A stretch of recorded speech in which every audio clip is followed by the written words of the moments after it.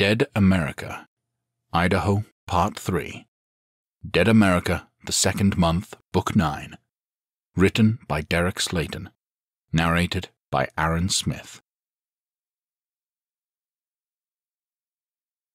Chapter 1 Rebuild, Day 3. Kowalski hit the top of the desk hard, sliding off and landing with a thud on the floor. His handgun clattered across the linoleum, landing several feet away. His rifle was still over his shoulder, but his head spun from the force of the hit, ears ringing from the constant gunshots going off. He looked through the bottom of the desk, spotting the hulking beast of a man who'd just tossed him through the air like a rag doll. Kowalski looked past him as he strolled over, spotting Captain Kersey engaged in a gunfight with several others, some coming in through the door from the stairwell. The sniper knew he wouldn't be able to beat this guy with his fists, and his gun was too far away to reach before the beast grabbed him again. With only seconds before his next beating, Kowalski reached into the small bag he'd been carrying, pulling out one of the pipe bombs. He quickly lit the fuse, throwing the lighter in his shirt pocket and putting the bomb behind his back just as the large man skirted the corner of the desk. Surprisingly graceful for his massive size. The beast reached down, grabbing Kowalski by the collar with both hands and pulling him completely up off of the ground. As he dangled there, the big man didn't speak, simply giving him a sinister grin. The sniper responded with one of his very own, and his captor's brow furrowed in confusion. Kowalski jerked his arms forward, shoving the lit pipe bomb down the front of the man's pants. The beast immediately let him go, fumbling frantically with his pants. Now, now, now! he shrieked, and the high pitched voice would be comical if it weren't for the life or death situation. Kowalski dove away, leaping over a metal desk, keeping his head down as the bomb detonated.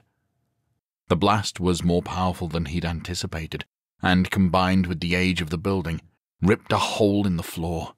The weight of the heavy desks became too much for the floor to bear, and the wooden panels creaked for a split second before giving way entirely. The furniture tumbled down to the first floor, taking Kowalski with it.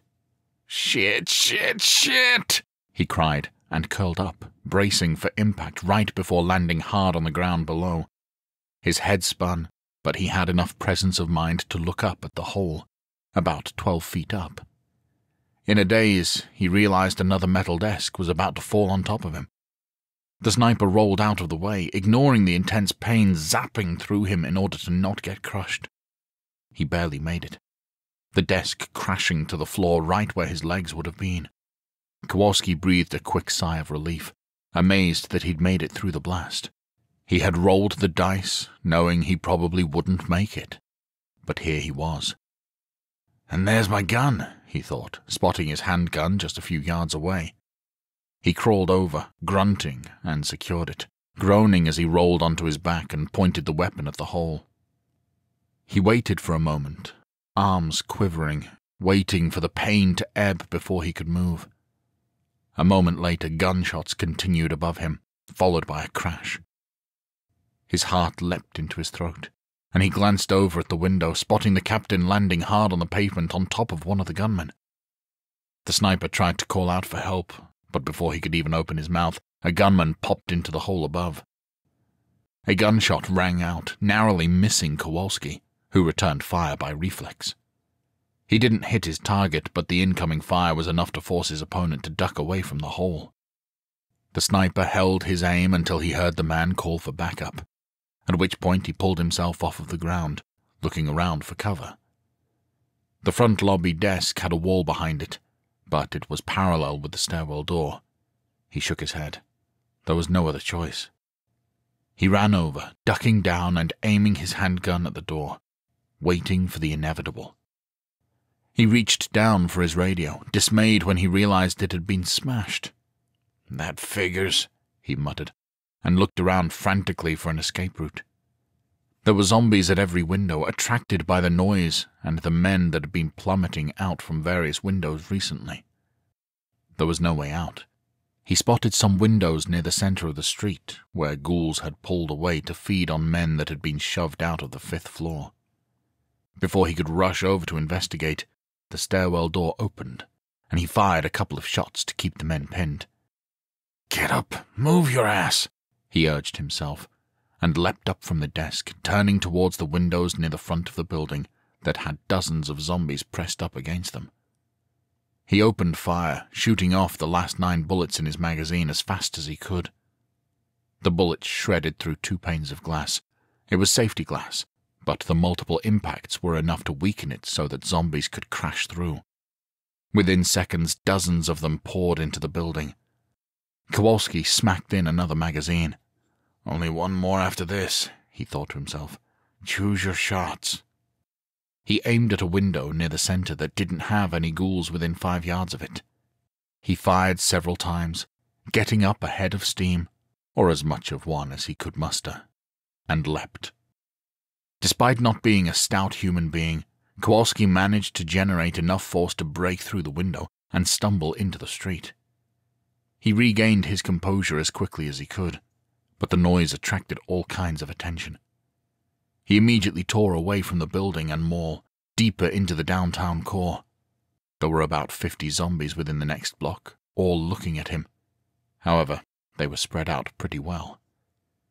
Kowalski moved, keeping his handgun aimed at whatever the closest ghoul was, though resolved not to fire unless absolutely necessary. Halfway up the block, he was forced to fire, hitting a ghoul in the head and creating a pathway for him to keep moving. As he ran, gunshots cracked from inside the building, and he cocked a little smile to himself that his little distraction plan had worked. He worked his way up to the next intersection, looking to his left and right and seeing dozens of zombies in both directions. As he started to work his way up another block, several more came out from around the next corner. He picked up the pace, keeping his handgun at the ready as he ran. Finally, after a couple of blocks, he had a little bit of separation from the zombies. Looking around, he spotted several stores with busted out front windows with looted stores. If they've already been looted, probably won't be hit again, he thought. He convinced himself to go inside the first store he found, a general goods store. He hopped over the threshold which had a couple foot step up off of the curb, and into the darkened store.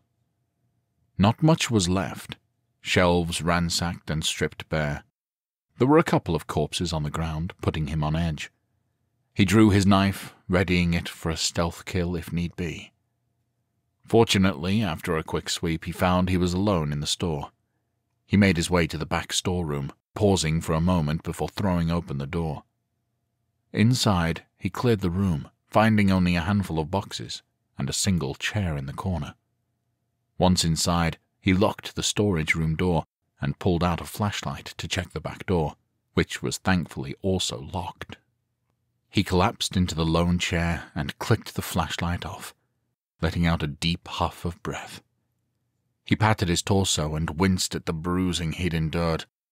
Oh, yeah, that's gonna feel great he muttered dryly, shaking his head.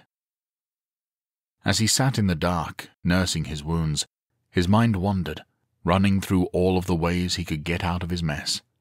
Nothing came to mind, considering he was deep in hostile territory and his team likely thought him dead. But at least he welcomed a break from the action. Chapter 2 Captain Kersey drove the vehicle back towards Kuna, skirting around a few small packs of zombies on the road. They were still several miles out, and the numbers weren't that concerning. The mood inside the cab was quiet and tense, and Kersey assumed everyone, like him, was keeping their thoughts on Kowalski. Potentially losing him, after everything they'd been through, especially after the last month, was devastating. The captain clenched his jaw. It was even worse knowing it had come at the hands of these entitled assholes. Kowalski is a tough bastard, Baker finally said. I'm sure he's fine, Cap. Kersey didn't respond, continuing to focus on the road. Baker took a deep breath, seemingly unnerved by the silent treatment. I mean, Remember that time a few years back when we were chasing down our target of the week, and we followed him into that mountain border town of whatever godforsaken country that was? He babbled, the words tumbling out. Kowalski was spotting us from the roof of a two story building across from us when an IED went off and leveled the place. We got pushed out by the local militia and thought he was a goner. Four days later, when we finally fought our way back in and accomplished the mission, we found him alive and well and hiding out in the back of a restaurant, just snacking away like he was on vacation. He let out a tight laugh. But when Kersey didn't respond, he stammered. What I'm saying, Cap, is that I know what you're saying, the captain snapped, and I would be a lot happier if you'd stop. The private snapped his mouth shut, slumping back into his seat and resting his forehead on the window. Kersey sighed, glancing into the rear view to look at his comrade, his friend, just as upset as he was. I'm sorry, he said gently. I'm worried about Kowalski, too, but we have a lot to deal with and focusing on him isn't going to do us any good. Baker nodded, jaw clenched, but remained silent. Kersey swerved to miss another patch of zombies, and then sped up again. Several minutes later, they were at the entrance to Kuna. As they waited for the gate to open, a few shots cracked, and he glanced in the rearview mirror. A few zombies about a hundred yards back dropped to the ground. His shoulders relaxed a little that it was corpses and not the chosen chasing them. As they pulled inside, the gate closed behind them, and Kersey parked. Before he could turn off the engine, the people they'd rescued piled out, civilians rushing up to greet the friends they hadn't been sure were alive. Kersey watched the display, heading around to the hood of the vehicle to stand with his soldiers and Zeke. I need to report in to Yvonne, Zeke said. Kersey nodded. I'll come with you, he said. The rest of you, get something to eat and resupply if you need to. We're not staying too long. Moss nodded. Should we get the others? he asked. Put them on standby, Kersey replied. Meet over by the northern depot. Yes, sir, Moss said, and turned, heading off with the rest of the pack. Kersey followed Zeke through the town towards Yvonne's office, but the latter fell into step with the captain clasping his hands in front of him nervously. I know you don't want to talk about it, he said softly, but I just want you to know that I'm real sorry about Kowalski. It breaks my heart to know he. D- Kersey shot him a death glare that stopped his voice in his throat, and Zeke coughed to cover up what he'd been about to say. Ahem, it breaks my heart to know he's in a difficult situation, because our people got trapped, he corrected. Kersey took a deep breath. It's not your people's fault, he insisted. This is squarely on the Chosen. They killed one of my men right in front of me before we even knew you guys existed. We all knew the risks coming here. Still, Zeke said slowly, the people of this town are thankful for what you've done for us. The captain gave a single sharp nod.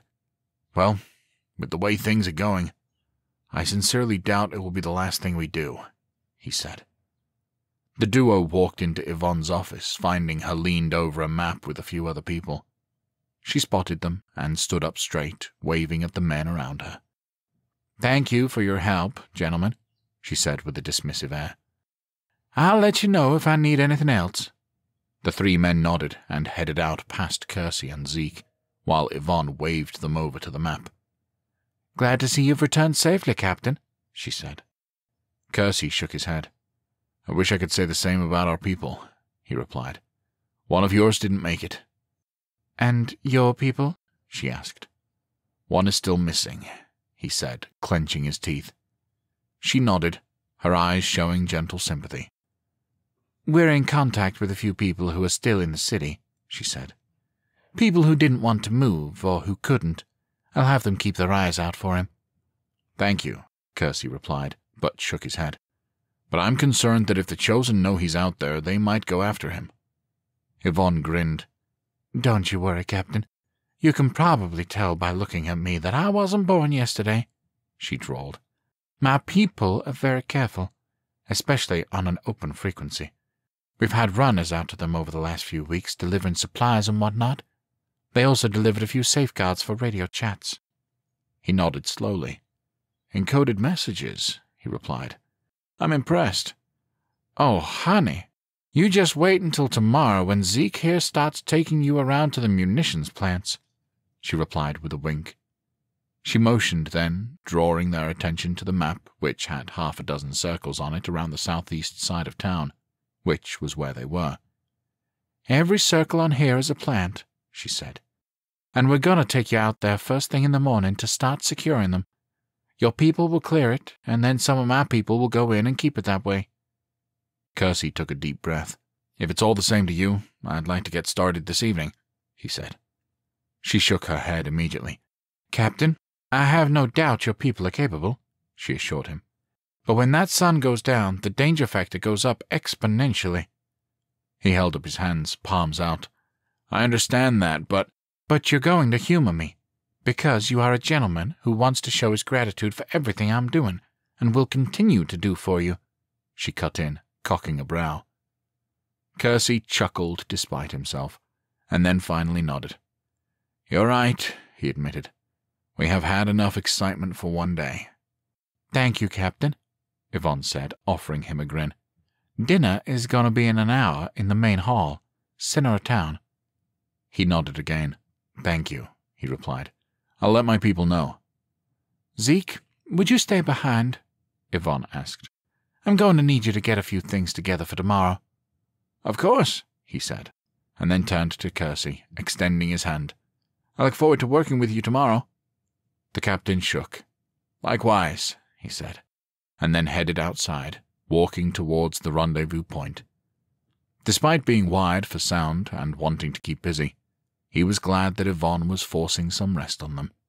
His men deserved it. When he reached the area, his remaining seven men stood outside, all geared up, checking their weapons. What do you say, Captain? Corporal Bretz asked. Kersey shook his head. You boys stand down. We're done for the day, he announced. The soldiers glanced at each other, confused. Yvonne insisted, the captain explained. Apparently things get sketchy out there once the sun goes down. Sketchy? Baker asked dryly. If we didn't go out after dark because the place was sketchy, none of us would have a drinking problem. Brett smirked.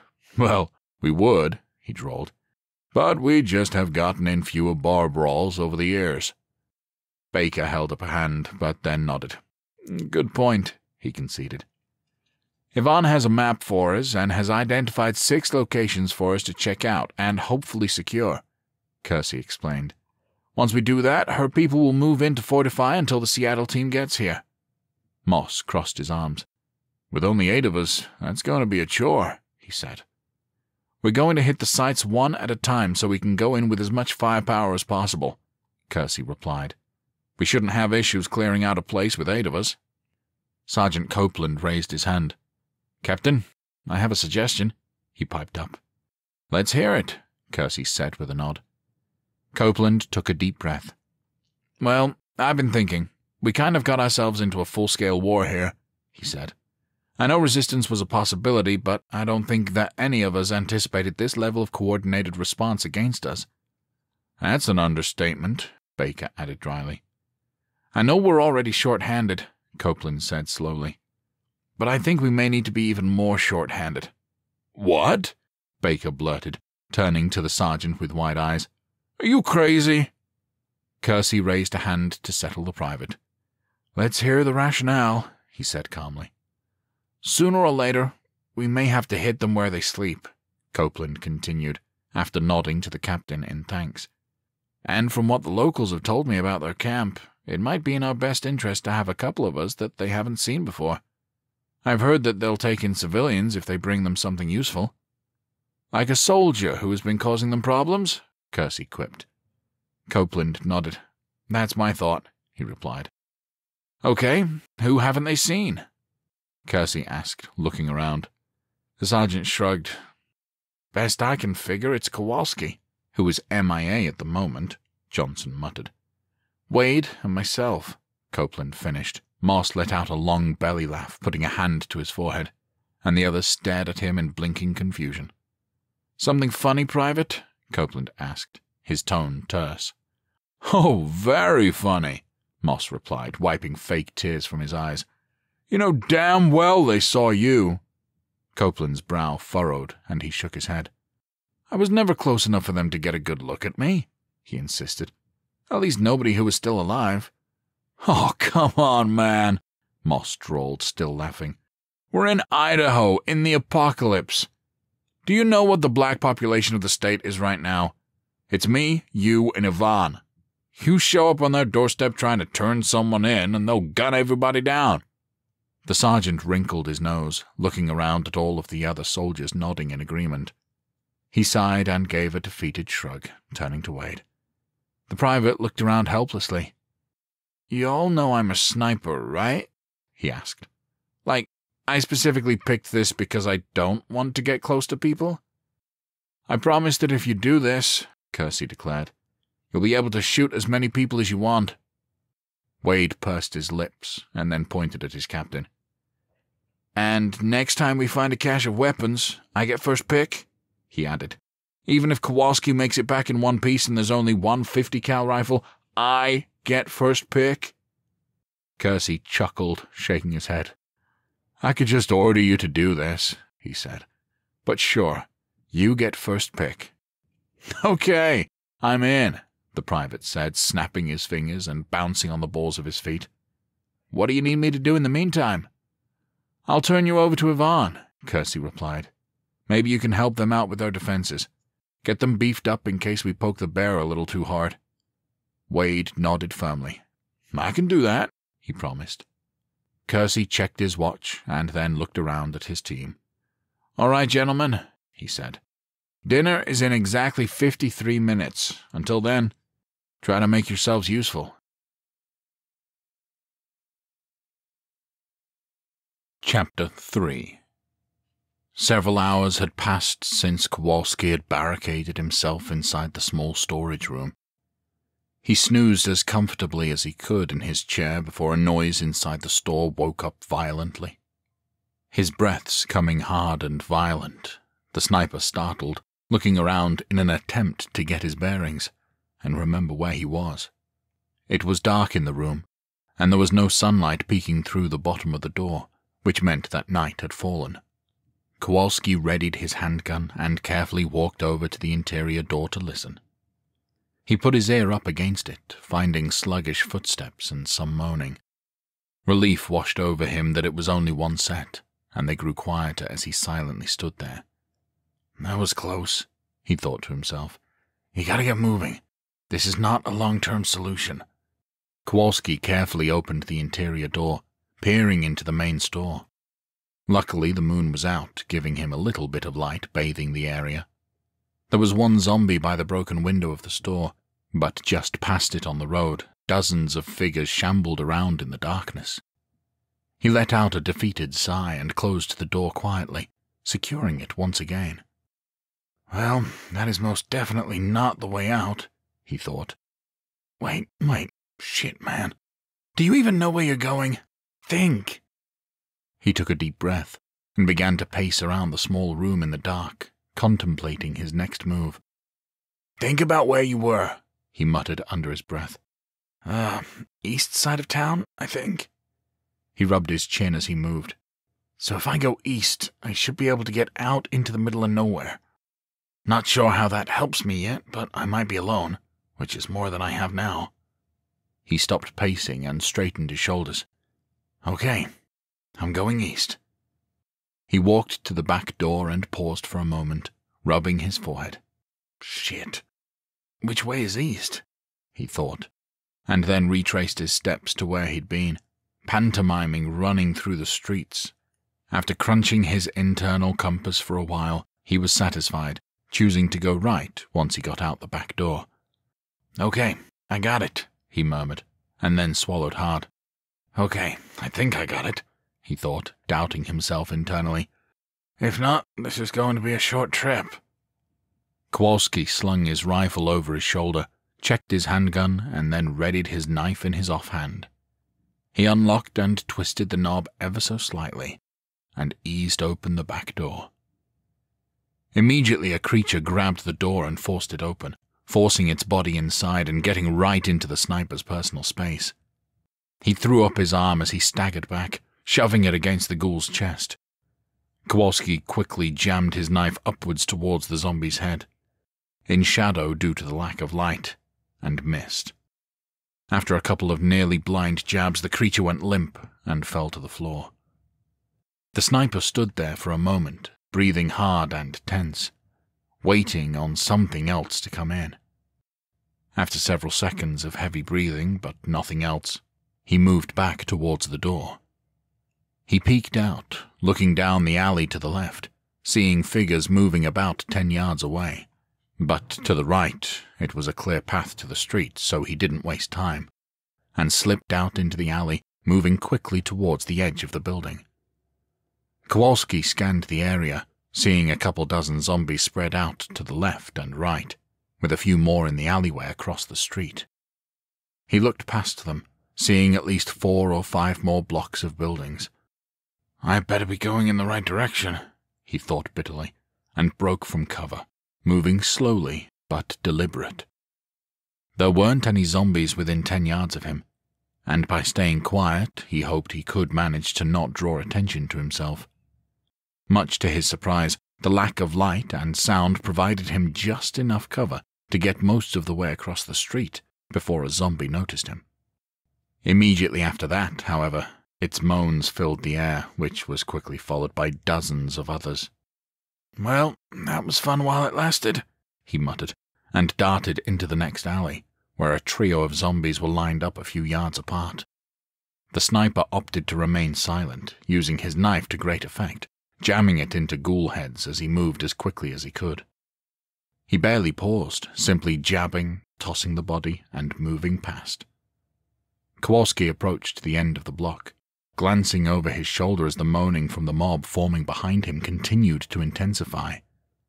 It was a good twenty yards back at least, so he had a bit of wiggle room, but before he could reach the end of the building, more ghouls came around the corner. There were about a dozen of them coming his way, with two directly at the edge of the building.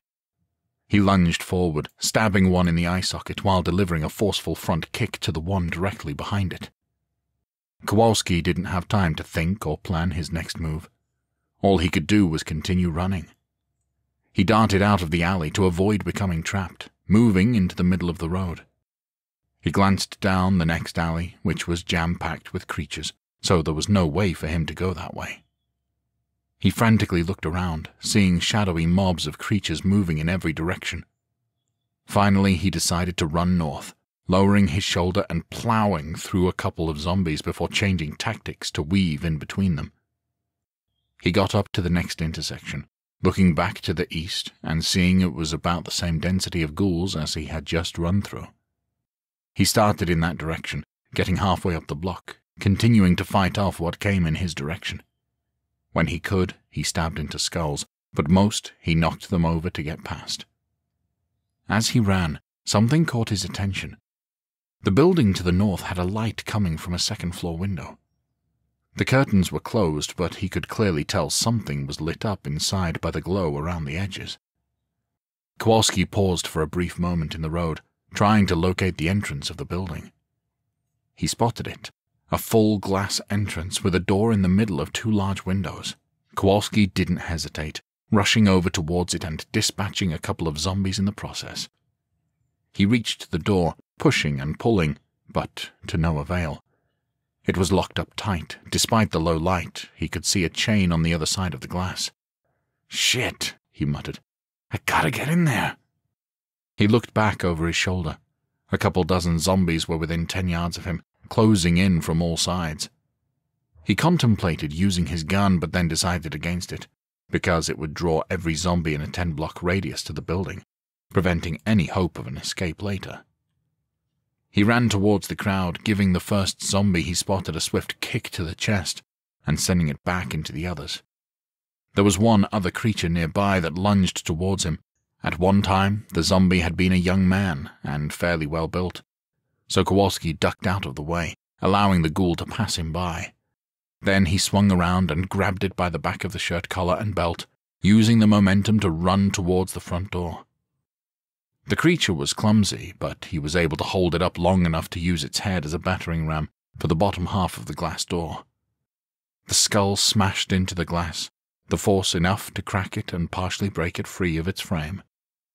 The zombie thrashed about, moaning, clearly not happy about its predicament, but Kowalski was undeterred, pulling the corpse back and throwing it forward with everything he had.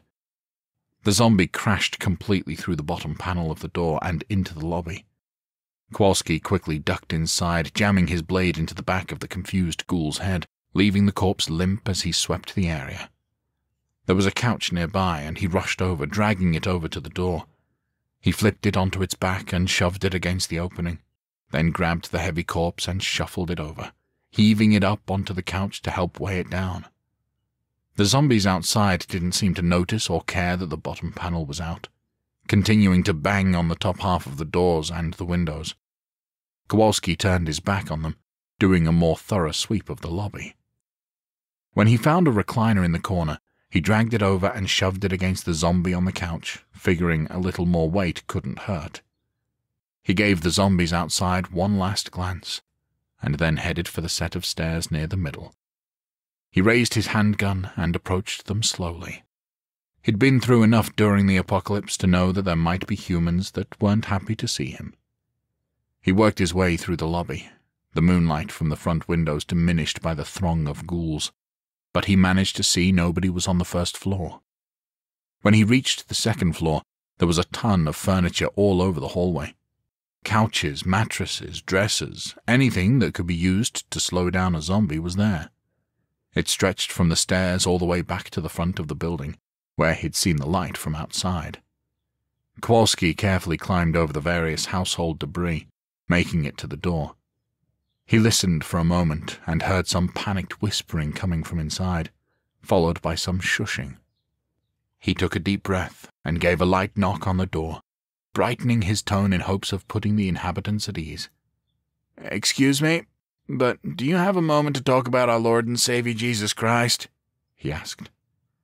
His hopes were dashed at the sound of a shotgun racking inside. Thank you, but we are happy with our current Lord and Saviour. Sawed off shotgun, someone drawled. Kowalski chuckled. Understandable, he agreed. Mister, I don't know who you are, but if you are looking for trouble, you'll find it here, the man declared. Not looking for any trouble, Kowalski promised. Just a place to recoup for a few hours, and then I'll be on my way. There was some soft chatter inside, and no matter how hard he strained his ears, he couldn't make out what they were saying. Okay, we can give that to you, the man finally called. But you holster any weapons you have, or else I'll send you to your maker. Yes, sir, Kowalski replied, and holstered his handgun. He didn't have a lot of options, so he had to play nice. He raised his hands, and the door opened slowly. A blonde woman quickly moved out of the way to reveal a stout man with a shotgun. He looked to be in his early fifties, like an aged linebacker that had let himself go a bit. Okay, come on in, he said, slowly. Kowalski moved slowly past the blonde woman, who looked slightly younger than the man, but not by much. She secured the door behind him, and he got a good look at the apartment. It was a mess, like they hadn't cleaned up in weeks. There were provisions stacked up everywhere, as if they'd raided every apartment in the building, which they probably had.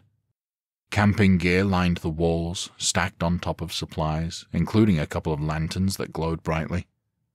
Quite the collection of stuff here, Kowalski said. The man grunted. Wasn't easy to get, he said. Our neighbors either fled or were the reason the others fled. There were five of us left in the building, the woman added, curling her arms around herself. By the time we cleared it out, it was just Dennis and me. Kowalski nodded. A lot of that going around, he said gently. Believe me, I know. Traveled further than most during this. The man, apparently Dennis, motioned towards the couch, finally lowering his gun, though keeping it at the ready in his hand. Kowalski collapsed down onto the couch, happy to be sitting on something soft, and the older couple sat on the love seat across from him. So, Dennis drawled, why don't you start by telling us who you are and what you're doing in a zombie infested town at this hour. Well, my name is Private Kowalski, the soldier replied. My team and I were helping out some other survivors in Kuna to get some of their people out. Didn't quite go the way we planned, and I got left behind. The man tongued his cheek. So, you're a military boy, huh? he asked. Yes, sir, Kowalski replied. Not exactly a popular occupation in these parts, Dennis said dryly. Yeah, been getting that a lot this month, the soldier replied with a sigh. Kind of frustrating, too, if I'm being honest. People are acting like I'm the one who made the decision to retreat to Kansas, and not someone about seven miles above my pay grade. Dennis nodded thoughtfully. That's understandable, he said, and put the gun down, setting it on the floor beside him. So you got separated from your friends? the woman asked, folding her hands in her lap. Yes, ma'am, Kowalski replied. Honestly, they're probably going to be surprised I'm still alive. Didn't exactly get separated under the best of circumstances. What happened? she asked. Lots of gunfire, an explosion or two, Kowalski quipped with a smirk and a shrug. Just another day in my life. Dennis laughed and patted the woman on her leg. Karen, why don't you fix our new friend here some tea so we can rest properly? he suggested. She hesitated for a moment, but he gave her a nod, and she got to her feet, heading for the kitchen. Afraid I don't have any cream, she called as she picked up the kettle. But I have some sugar if you like. Plain will be fine, ma'am, Kowalski replied. Thank you. She nodded and fired up a camping stove to boil water. Sounds like you've been through the wringer, Dennis said. And I don't just mean today. Kowalski took a deep breath.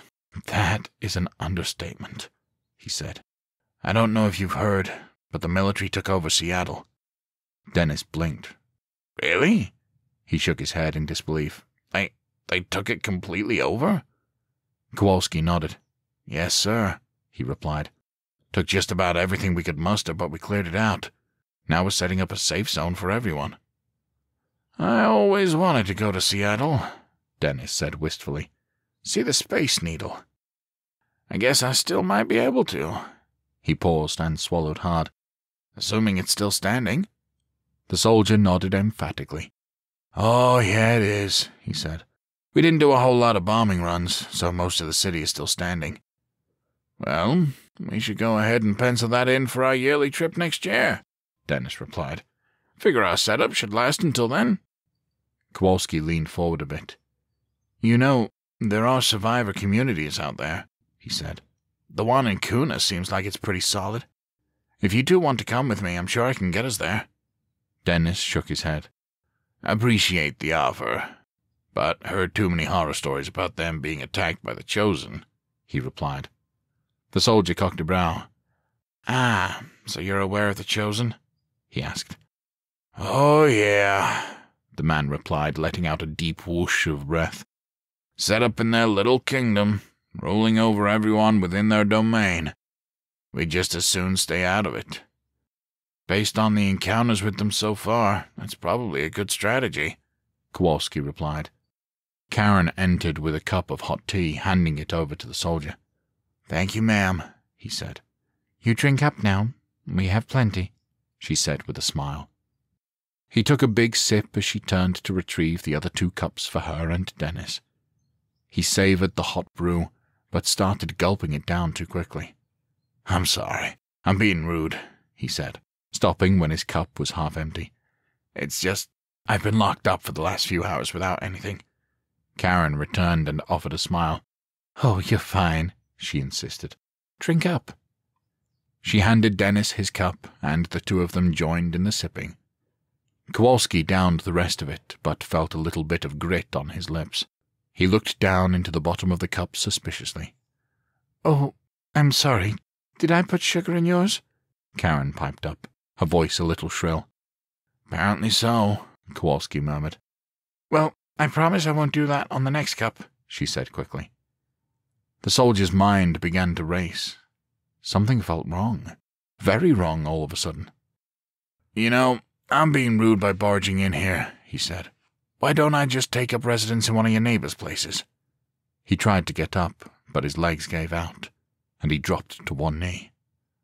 Dennis leaned forward, pushing him gently back onto the couch. It's okay, fella. Just let it wash over you, he cooed. What did you do to me? Kowalski asked, and his tongue felt thick. He tried to reach for his handgun, but Dennis pulled it out of the holster and tossed it to the table behind him. For what it's worth, it isn't personal, he said, pressing his palms together.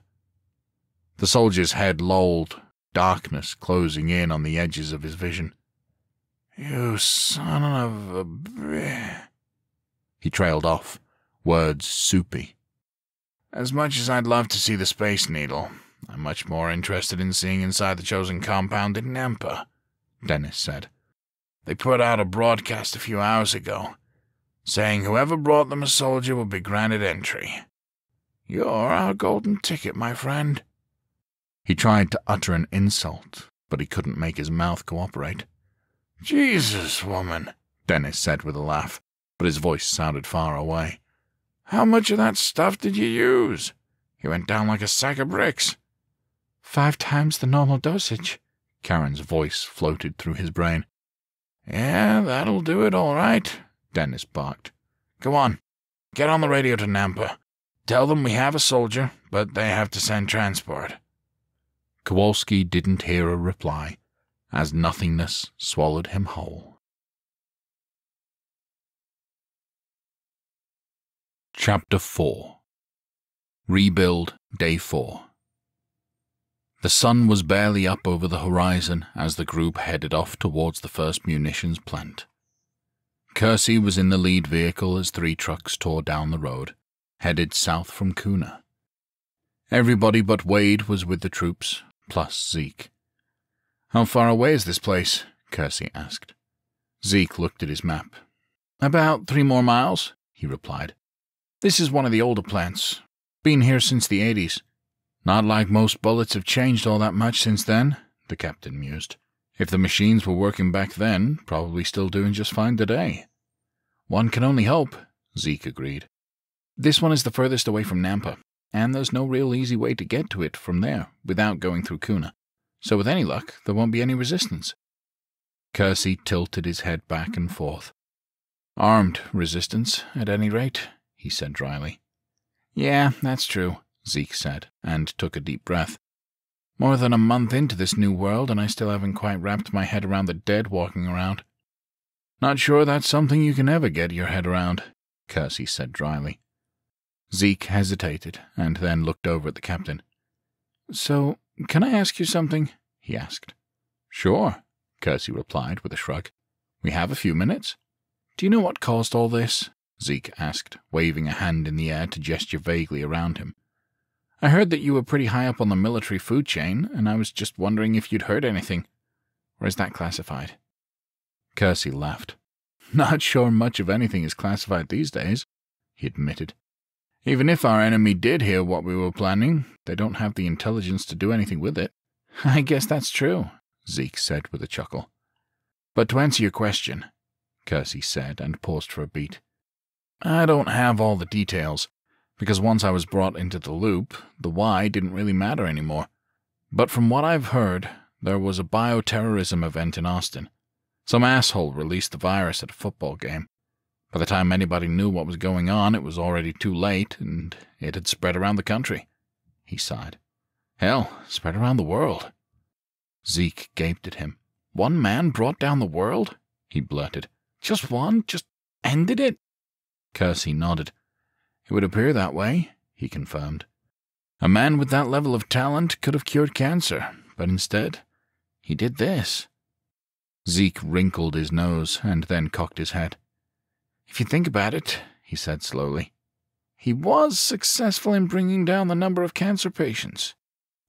The two men shared a dark horror laugh, shaking their heads together. Yeah, I guess that is one way of looking at it. Kersey said dryly. Zeke let out a deep breath.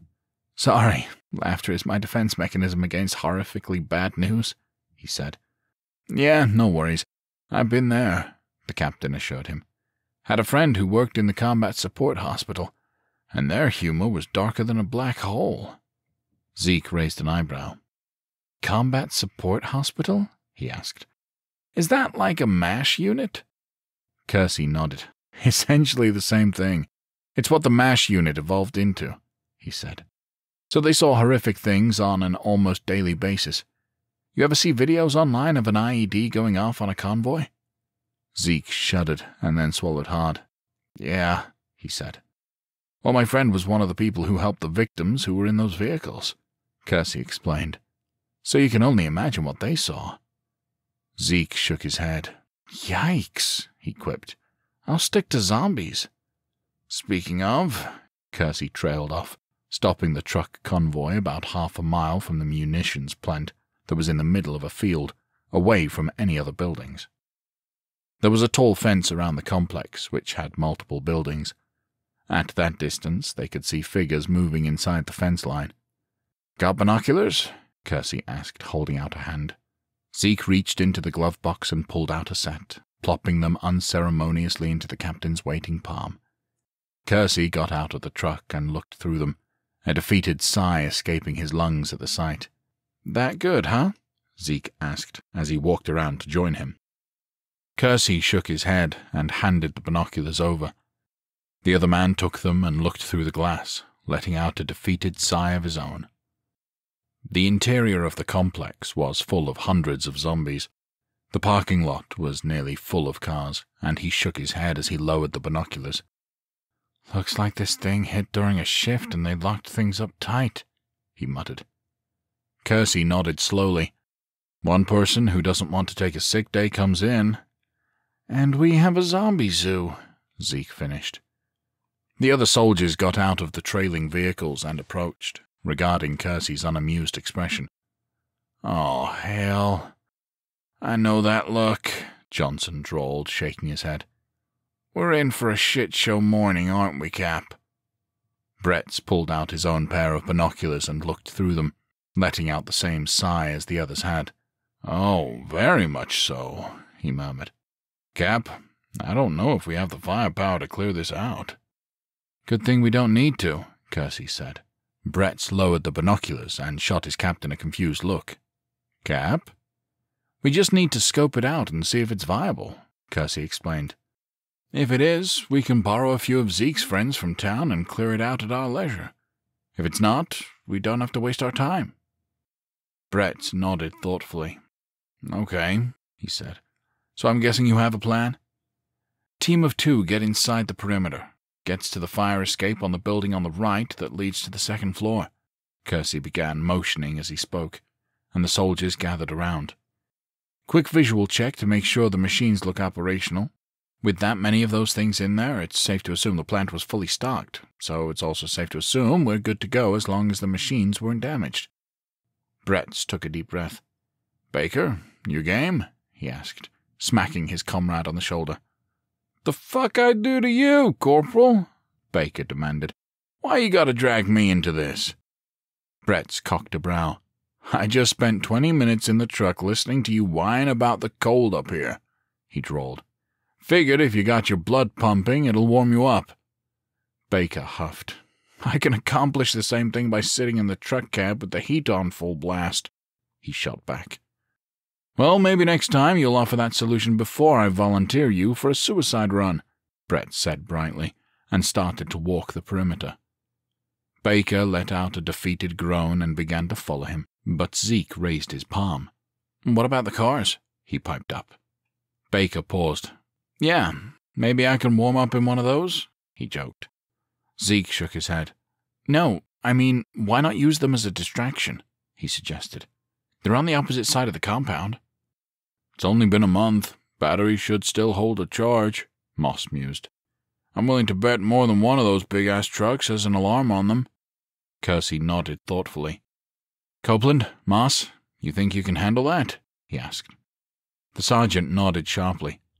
Yes, sir, he said, and then turned to Bretts. Give me five minutes, and you'll have a clear path to the building. The corporal grinned and then waved to Baker. Let's get in position. Baker sighed, and they headed off to their position. Copeland led Moss across to the opposite side of the compound, staying far enough away from it as to not invite attention. They weren't ready to be popular just yet. The duo worked their way to the side of the fence with the parking lot in sight. There were a couple dozen zombies wandering around it, but they still hadn't noticed them. The two soldiers studied the area, spotting a couple of high end trucks near the center of the lot, about fifty yards past the fence, right in the thick of the ghouls. What do you think, Sarge? Moss asked. Those trucks in the mile look like our best bet. Copeland nodded slowly. Given the other vehicles look like beater cars, yeah, he agreed. If anything is going to have an alarm, it'll be those trucks. And if we strike out? Moss asked, taking a deep breath. We break some windows and lay on the horn as long as we can, Copeland instructed. Won't be quite as loud as an alarm, but should do the trick. Moss raised his gun. We're weapons hot, right? he asked. The sergeant shook his head. Not until we set the alarm off, he declared. I thought the whole point of this exercise was to draw attention to ourselves, Moss asked, brow furrowed. Do you really want to do that before we get an alarm going? Copeland asked dryly. Moss paused for a beat and then nodded. Yeah, yeah, you're right, he agreed. I swear, though, once that car goes off, I'm lighting up whatever is within sight of me. You and me both, soldier, Copeland agreed. The two men got ready to move, drawing their knives and running up to the fence. There wasn't a zombie within thirty yards, so they had time to operate. Copeland jumped up getting a firm grip before using his blade to slice the barbed wire at the top and free it.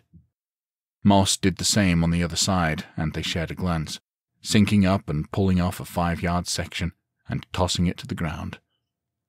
Up and over, let's move, Copeland urged, and threw his legs over, landing on the ground and then assuming a fighting stance.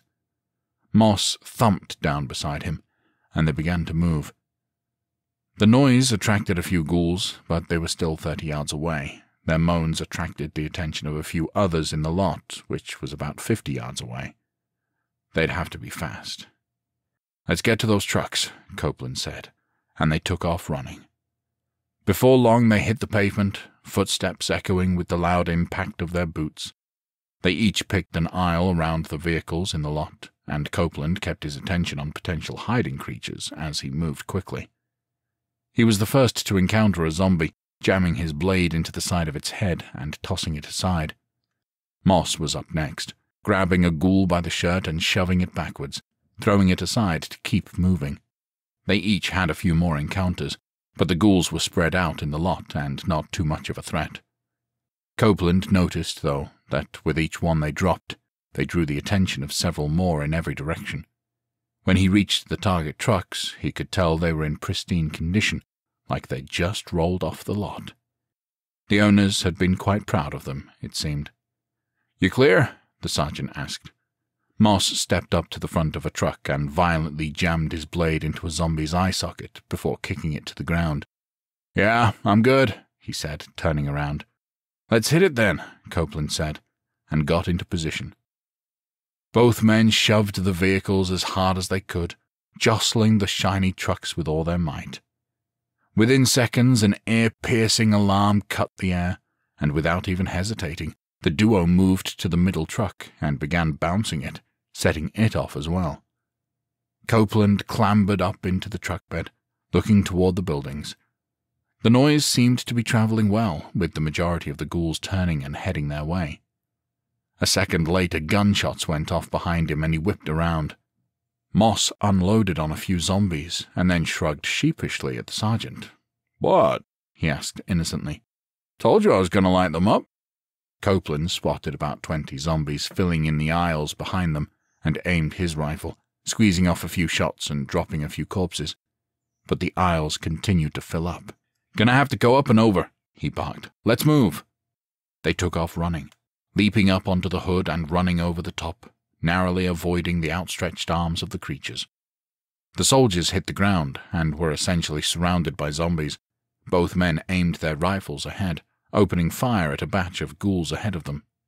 The shots ripped through their heads, dropping the corpses to the ground and clearing their way. When they reached the next cars and ran over them, they repeated the process on the next aisle, Within moments, they were back at the grass with only a handful of creatures still ahead of them. Copeland stopped dead in his tracks, taking quick aim to put down the threat ahead. Moss joining him, they took care of it in mere seconds, and as soon as they were clear, they rushed to the fence, scaling it and landing safely back on the other side. Let's get out of sight, Copeland huffed. Too many of those things might collapse the fence. They ran away, finding some high grass to take cover in, lying low as they watched the zombies continue to head towards the trucks, even as one of the alarms fell silent. Hopefully that bought them enough of an opening to get through, the sergeant murmured. Bretts and Baker were ducked down in the high grass, waiting for the alarms to go off.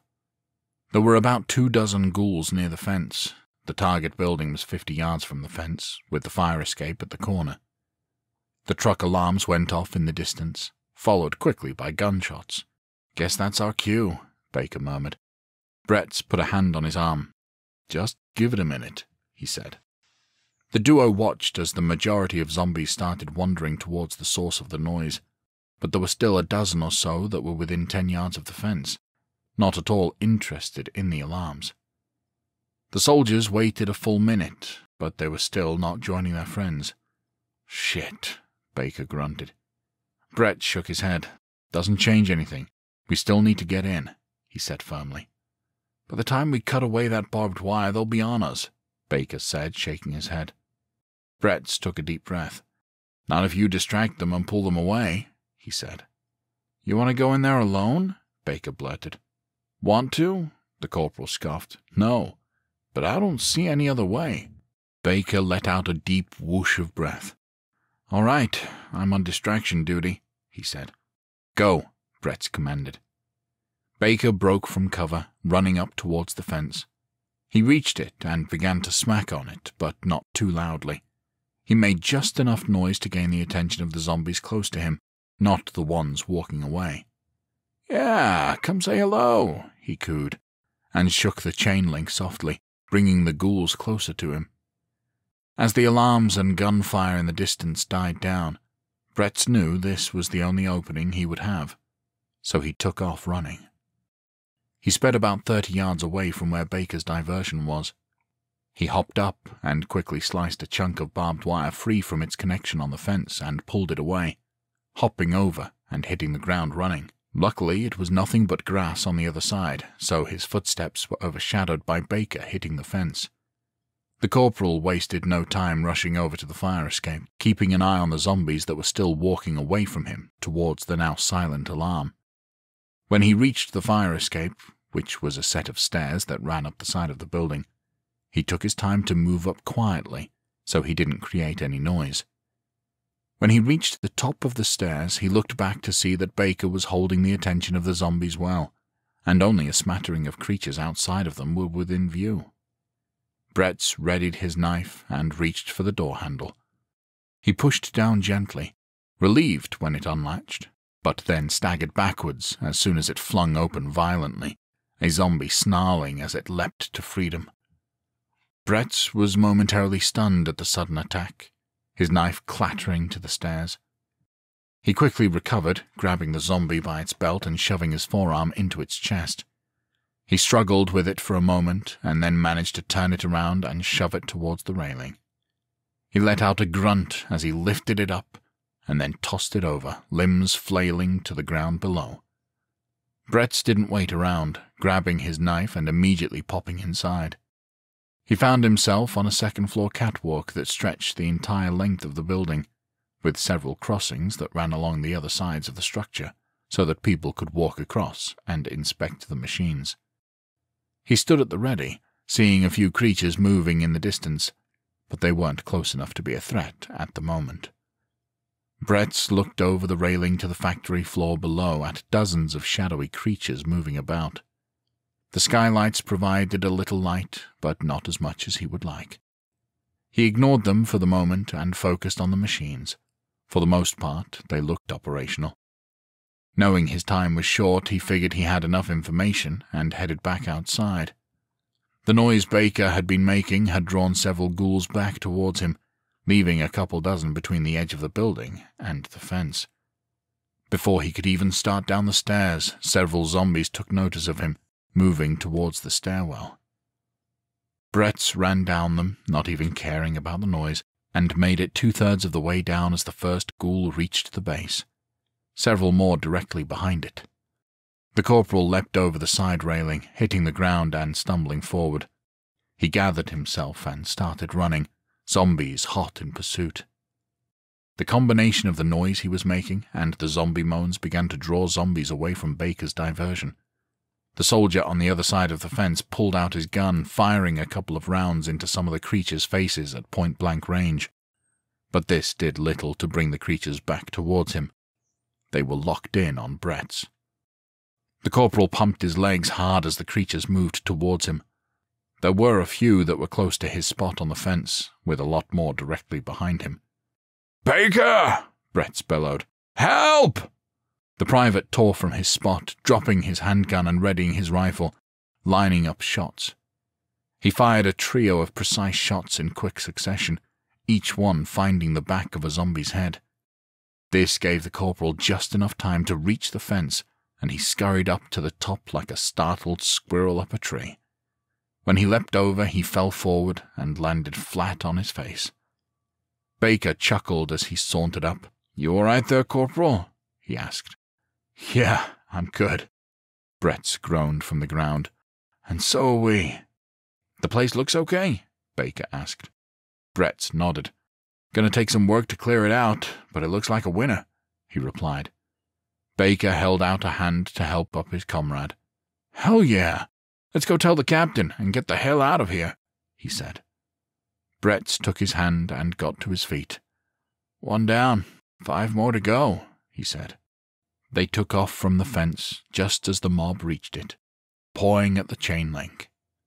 Bretts let hope curl inside of him a bit, satisfied by a tiny bit of good news from this otherwise bleak trip. Chapter 5 Kowalski jolted awake, his nose burning, and he flung his body back and forth, disoriented. He quickly realized that his hands were bound behind his back, and as his vision began to clear, he realized he was sitting up in the back of an SUV, buckled in and everything. A guy in the passenger seat sneered at him, clucking his tongue and poking the brim of his cowboy hat. Look alive, he drawled. We're almost at the kingdom. Despite the swimming of his head, Kowalski still found his sarcasm. The kingdom? he slurred. Doesn't sound pretentious at all. Mark it all you want, the cowboy snapped. But people are willing to go to great lengths to get past the front gates. Like your two friends in the back there. Kowalski blinked a few times and then craned his neck so he could see into the trunk of the SUV. Dennis and Karen were hog-tied and gagged, staring up at him with looks of severe regret and fear. The sniper couldn't help but smirk a little. He was fucked, but at least they got their comeuppance for screwing him over. Must be pretty exclusive if you aren't letting riffraff like them in, Kowalski quipped. Oh, we're letting them in, the cowboy drawled with a mischievous twinkle in his eyes. But it's not going to be the experience they dreamed of. The sniper glanced over his shoulder. You hear that, guys? he asked. You fucked up. Hope it was worth it. He faced forward, and then something niggled in his brain. He wasn't gagged like the other two, and he got to sit in a seat. This could be good or very, very bad. So, he said, trailing off for a moment, Mr. Chosen Guy. Mitch, the cowboy supplied, turning to face the soldier. So, Mitch, Kowalski continued, I'm going to go out on a limb and assume that since I don't look like a calf during a rodeo competition, that you have other plans for me. The cowboy nodded. Very astute, Mr. Kowalski. Though it sent a chill down his spine that they knew his name even, he kept his expression neutral. I have my moments, he said.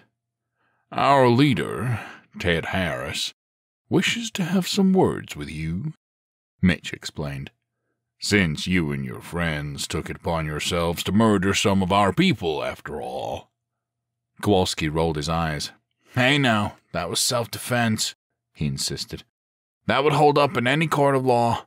Maybe in the old world, Mitch quipped. Your mileage with that defense might vary in the kingdom's court. The sniper let out a soft sigh and stared out the window. There were several rows of barbed wire fencing, stretching for as far as he could see. Zombies thrashed against them, caught up and pissed, but many more lay lifeless against the traps. He looked out the front windshield as Mitch called in on his radio, announcing their arrival. A ten foot tall metal fence stood in front of an eight foot tall brick wall, double stacked with elevated gunner positions in the middle. A large gate swung open, allowing the SUV to pull in. Once inside, Kowalski looked around at the high end compound. It looked like a wealthy neighborhood that they'd converted into a fully functional society. Virtually every yard had greenhouses in them, every house had solar panels, and several armed guards watched as lesser people did the hard work tending to everything. Very homey, Kowalski mocked. Assuming you grew up on a 19th century plantation. We do what we have to in order to survive, Mitch snapped. Keep it up, and you'll be joining them. Amazingly enough, this is not the first time I've been threatened with slave labor, Kowalski quipped. Mitch ignored him, turning to the men walking up to them. Get the two out of the back and take them to processing, he barked. I've got this one. The men nodded and opened the trunk, dragging Dennis and Karen away. Mitch opened the back door and clicked open Kowalski's seatbelt, grabbing his arm and leading him in the opposite direction. Kowalski took the opportunity of their silent walk to look around. The fortifications of the double brick and metal wall were formidable with guards standing on top of platforms built onto the brick so they could shoot over the top, with gunmen about every ten yards. He continued to look around, seeing close to a hundred gunmen and three times as many non chosen. Turning away from the wall, he looked down the next cross street, stretching so far he couldn't see the other side. You know, if it wasn't for the human rights violations, I'd say this is an impressive feat, he drawled to get this many people this organized in such a short amount of time, and building this up as the world falls apart around you? Not to mention all the resources you have out in town. If you knew anything about this city, then you'd know that anybody who managed to live in this neighborhood was well equipped to pull this off, Mitch replied, raising his chin. We have the knowledge, the will, and arguably most importantly, the fortifications to survive the first few days of chaos. Once the runners stopped running, it was a piece of cake to go out into the city and secure what we needed for our future, especially with our personnel. Kowalski pursed his lips. So the chosen are people who lived in this neighborhood? he asked. And select others we deemed important, Mitch added. The sniper sighed. Great. I'm dealing with the Homeowners Association from hell, he muttered. We're a little more formidable than that, the cowboy said. He led Kowalski to a large house on a corner lot. It was two stories and looked like it had been built in the last few years, surprisingly not as gaudy as the sniper had expected. Mitch nodded to the two armed guards standing on either side of the front door. Gentlemen, he greeted, we're here to see Mr. Harris. They nodded in response and opened the door for him one of them leaning inside. Mr. Harris, your guest has arrived, he called. Kowalski crossed the threshold, ushered in by Mitch, and a man entered the front lobby. He was easily in his late fifties, but he was lean and muscular, not to mention tall. Oh, so you're the one giving my people so much trouble out there, he said brightly, with a slickness like he was the unholy offspring of a televangelist and a used car salesman. Ted Harris. Nice to meet you. Kowalski blinked at him and then wiggled his wrists, the handcuffs jingling. After a brief moment of confusion, Ted realized what the problem was. Mitch, is this any way to treat our new friend here? he asked. Come on, get those cuffs off. Sir, I don't think that's wise, the cowboy warned. Mitch, buddy, Ted said through a toothy smile. I didn't ask for your opinion on the subject. Now get those cuffs off and get into the kitchen. Marcy has a nice fresh pot of coffee brewing. He regarded the soldier. You like cream in yours? Don't worry, it's fresh. None of that powdered nonsense. We have some people under our protection who have a dairy farm. We don't have a lot of it, mind you, but happy to oblige you on this occasion. Kowalski cocked a brow. Normally I would tell you where to stick it, he said. But since I haven't had a proper cup of coffee since this began, I will take you up on your offer. He threw a glance at Mitch as the cowboy begrudgingly uncuffed him. Don't skimp on the cream there, Bubba. He gave him a wink as he wrinkled his nose and disappeared into the kitchen. Ted motioned for Kowalski to have a seat in the living room, and the soldier sat down on the couch, rubbing his wrists. So, I've been told that your name is Kowalski, Ted said, crossing one ankle over the opposite knee. Am I saying that right? You are, the soldier said. Ted grinned and spread his hands. Well, welcome to my humble abode, he said sweetly. Excuse the little bit of messiness. Marcy hasn't had all of her usual supplies to do a proper deep clean. I spent last night in a storage room, Kowalski said dryly. This is plenty clean. Well, hopefully this isn't your first trip to Boise, Ted continued, because I'd hate for that to be your initial impression of the town. The soldier sighed. I'll be honest, Ted. Any city that has a budget for snowplows isn't a city that would ever win me over. Storage room accommodations or not, he admitted. Fair enough, sir. Fair enough, Ted replied with a chuckle. Mitch entered and set a coffee cup in front of each man on the table. Kowalski picked it up and made sure to stick his pinky up in a taunting manner as he slurped his up. Ted cocked his head at Mitch as he propped his mug on his thigh. Mitch, why don't you wait outside while we have our little chat? he asked. I get the impression that Mr. Kowalski here doesn't much care for you. He's right, you know, the soldier stage whispered, and the cowboy grumbled under his breath before heading outside to the porch. Once the door shut behind him, Ted took a deep breath. Okay, Mr. Kowalski, it's just the two of us, he said. So I'm going to get straight to the point. I need to know why you and your men are in my town.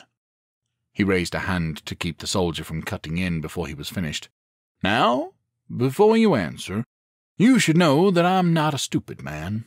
I know you're a highly trained and loyal soldier who would never do anything to endanger the mission.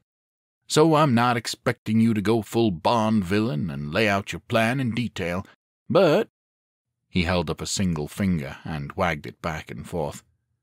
You should know that I am also a very practical man. If I have something that can be of useful to the U.S. military, and can get something useful in return for providing it, I can be convinced to do so. A lot of people don't view you boys in the best of light, given how you up and abandoned us when we needed you most. And while I share some of that sentiment, I'm not going to let it get in the way of making a deal that would benefit me and this community. He took a sip of his coffee and then added, So, I'm going to turn the floor over to you and hear what you have to say. Kowalski nodded, drank a little more coffee, and then set the cup down, shaking his head. I'll say this, Ted. When somebody puts a quarter in you, they get the full twenty-five cents worth, he said. The other man let out a belly laugh and nodded. What can I say? he asked with a shrug. I never want anybody to feel cheated. Well, you'll have to forgive me for not going into specifics. However, as I'm sure you know, we recently liberated Seattle from the scourge of the undead, Kowalski began. Now, I'm sure you had some issues with supplies when starting this fine community up, so you can only imagine the difficulties of trying to do that with a few hundred thousand people Ted cocked his head. Just thinking about the logistics of that makes me light-headed, he admitted. So, what sort of supplies? I mean, besides bullets. I didn't mention bullets, Kowalski said slowly. Oh, please, like I said, I'm not a stupid man, Ted scoffed. There's a reason my men were guarding that factory, because I know how important it is, and I'm willing to bet your superiors do too. Now, is there anything else on that list, or do you just want my bullets? Kowalski picked up the mug and downed the rest of the coffee and let out a satisfied sigh. I'm going to make an executive decision and add cream to the list, he said wistfully. Life's too short to deal with powdered creamer. Indeed it is, good sir, Ted said with a grin. Indeed it is. He licked his lips and held up his finger again. Now, before I send you on your way, I do have another question for you. Kowalski nodded. More than welcome to ask it, he said. How big of a force do you have?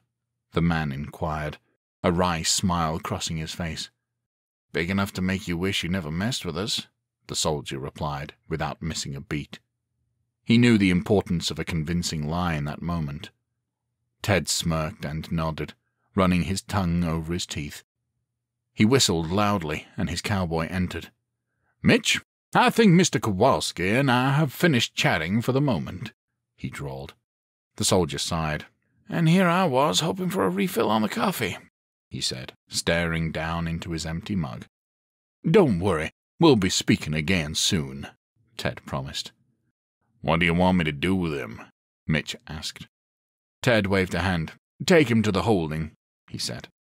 Kowalski put a hand over his heart in faux offense. Oh, he whined. I thought we were friends there, Ted. Hang on, the chosen leader said, raising his palms. Mr. Kowalski, I hope you don't take this personally, but I can't have you roaming around on your own. However, Mitch here is going to put you in a private cell, partially because I want you to be able to stretch out, and partially because I've heard the people who turned you in are in the same holding area. Don't want to tempt you into revenge. Mitch pulled out the handcuffs and roughly grabbed Kowalski's arms, slapping the cuffs over his wrists and then shoving him towards the door. Mitch, a word, Ted said, waving him back. The cowboy pointed a finger in the soldier's face. You move, and we're taking a detour by the workshop so I can introduce your knee to a hammer, he snarled. Don't worry, Kowalski drawled. Not going anywhere without my escort. Mitch moved back into the living room the two of them walking quietly, but the soldier straining his ears. Drop him off and get the negotiator over here, Ted was saying. Yes, sir, Mitch replied, and then walked back towards the front door. Oh, and see if you can't get our friends down in Kuna on the line, Ted called loudly enough for the soldier to hear. If we're going to be getting off on the right foot with our military friends, we should probably arrange for Mr. Kowalski to find his way back to his friends. Wouldn't you agree, Mitch? The cowboy gritted his teeth.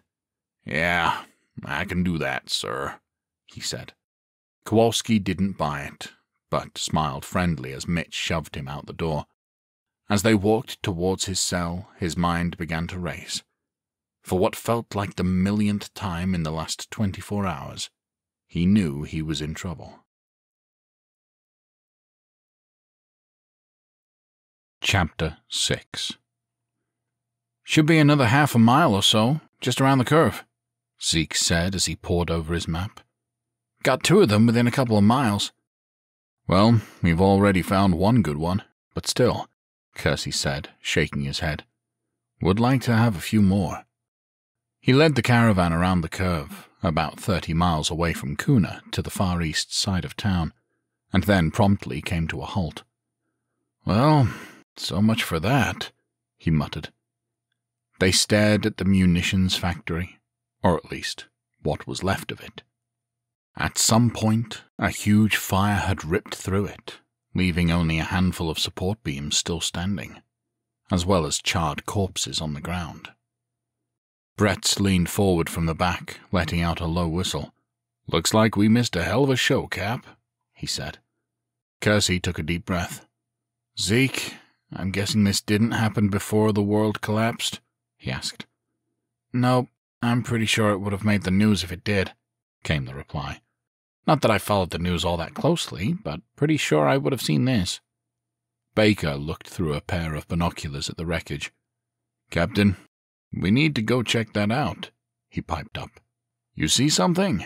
Kersey asked, cocking his head. I think I do, Baker replied. The captain nodded. Okay, then, just be on alert, he instructed, and popped the truck back into gear, driving towards the burned out building. As they got closer, Kersey saw what had caught Baker's attention. There was light smoke coming up from underneath some of the rubble. He parked the vehicle and got out with the corporal and Zeke in tow, walking towards the perimeter of the building with several fires still lightly burning. This had to have been recent, Bretts breathed. Last day or so. Kersey shook his head. If it was deliberate, then they must know what we're after, he said. What kind of maniac would destroy it rather than let us get it? the corporal asked, throwing up his hands. Zeke, is the leader of the Chosen like that? Kersey asked, turning to his companion. Zeke shook his head. No, he's a lot more pragmatic than that, he replied. I can't see him destroying the ammunition. I'm not so sure he did, Kersey replied slowly. Look around. What do you see? The other two scanned the area, spotting only a collapsed building that looked like it had fallen in on itself. There's no explosive debris, Bretts mused. If ammunition was detonated, then there would be parts of this building hundreds of yards out. This place is just burned. How close is that other factory? the captain asked. Mile or so? Zeke replied. Kersey shook his head. One place is easier to defend than two, he said. Bretts took a deep breath. If that's the case, then we could be in for a fight, he said. What direction is the factory in? Kersey asked, and Zeke pointed to the northeast, across a field with high grass and a thick patch of trees that blocked the view of the next building. Okay, we drive up to that tree line and then go from there on foot. If they are holed up there, we don't want to give ourselves away. Brett and Zeke nodded, and they made their way back to the trucks, relaying the information to the others. They quickly fired up the vehicles and drove across the field, stopping just short of the tree line. Copeland, Dawson, recon, Kersey said. Go. The soldiers in question nodded and took off into the woods, leaving the rest behind. Zeke, Baker, Moss, Kersey continued. I want you to stay by the trucks. If we get pinned down, you're our cavalry, Baker nodded sharply. That road goes right around to the factory, right? he asked. Yep, straight shot, Zeke confirmed. If shit goes sideways, we'll be coming in hot for an escape route for you, Baker promised. The captain nodded. Let's hope it doesn't come to that, he said. You still have hope that shit won't go sideways? Baker joked. Cap, I gave that up after that small town with the homicidal high school quarterback. Kersey simply smirked as he motioned for the others to follow him into the woods. They moved quickly, but stayed quiet. As they went along something resembling a path, there was a trail of dead bodies on the ground, all with stab wounds to the head. Johnson let out a soft clicking noise, motioning for the other two to come over to one of the creatures. Kersey and Bretts approached, the corporal bending down to tug on a chain on the ground. It was attached to the zombie's ankle, leading over to a nearby tree. They got these things on a leash now? Bretts asked, but before anyone could respond, there was a shuffling sound to the right of them. Kersey spotted a zombie shambling towards them, or at least trying to. Past it, deeper into the woods, were even more corpses, staggering in place. Either that's one hell of a coincidence, Johnson trailed off, or somebody is setting up a zombie minefield. Bretts finished. Come on, let's find Copeland, Kersey said, and continued to move through the woods.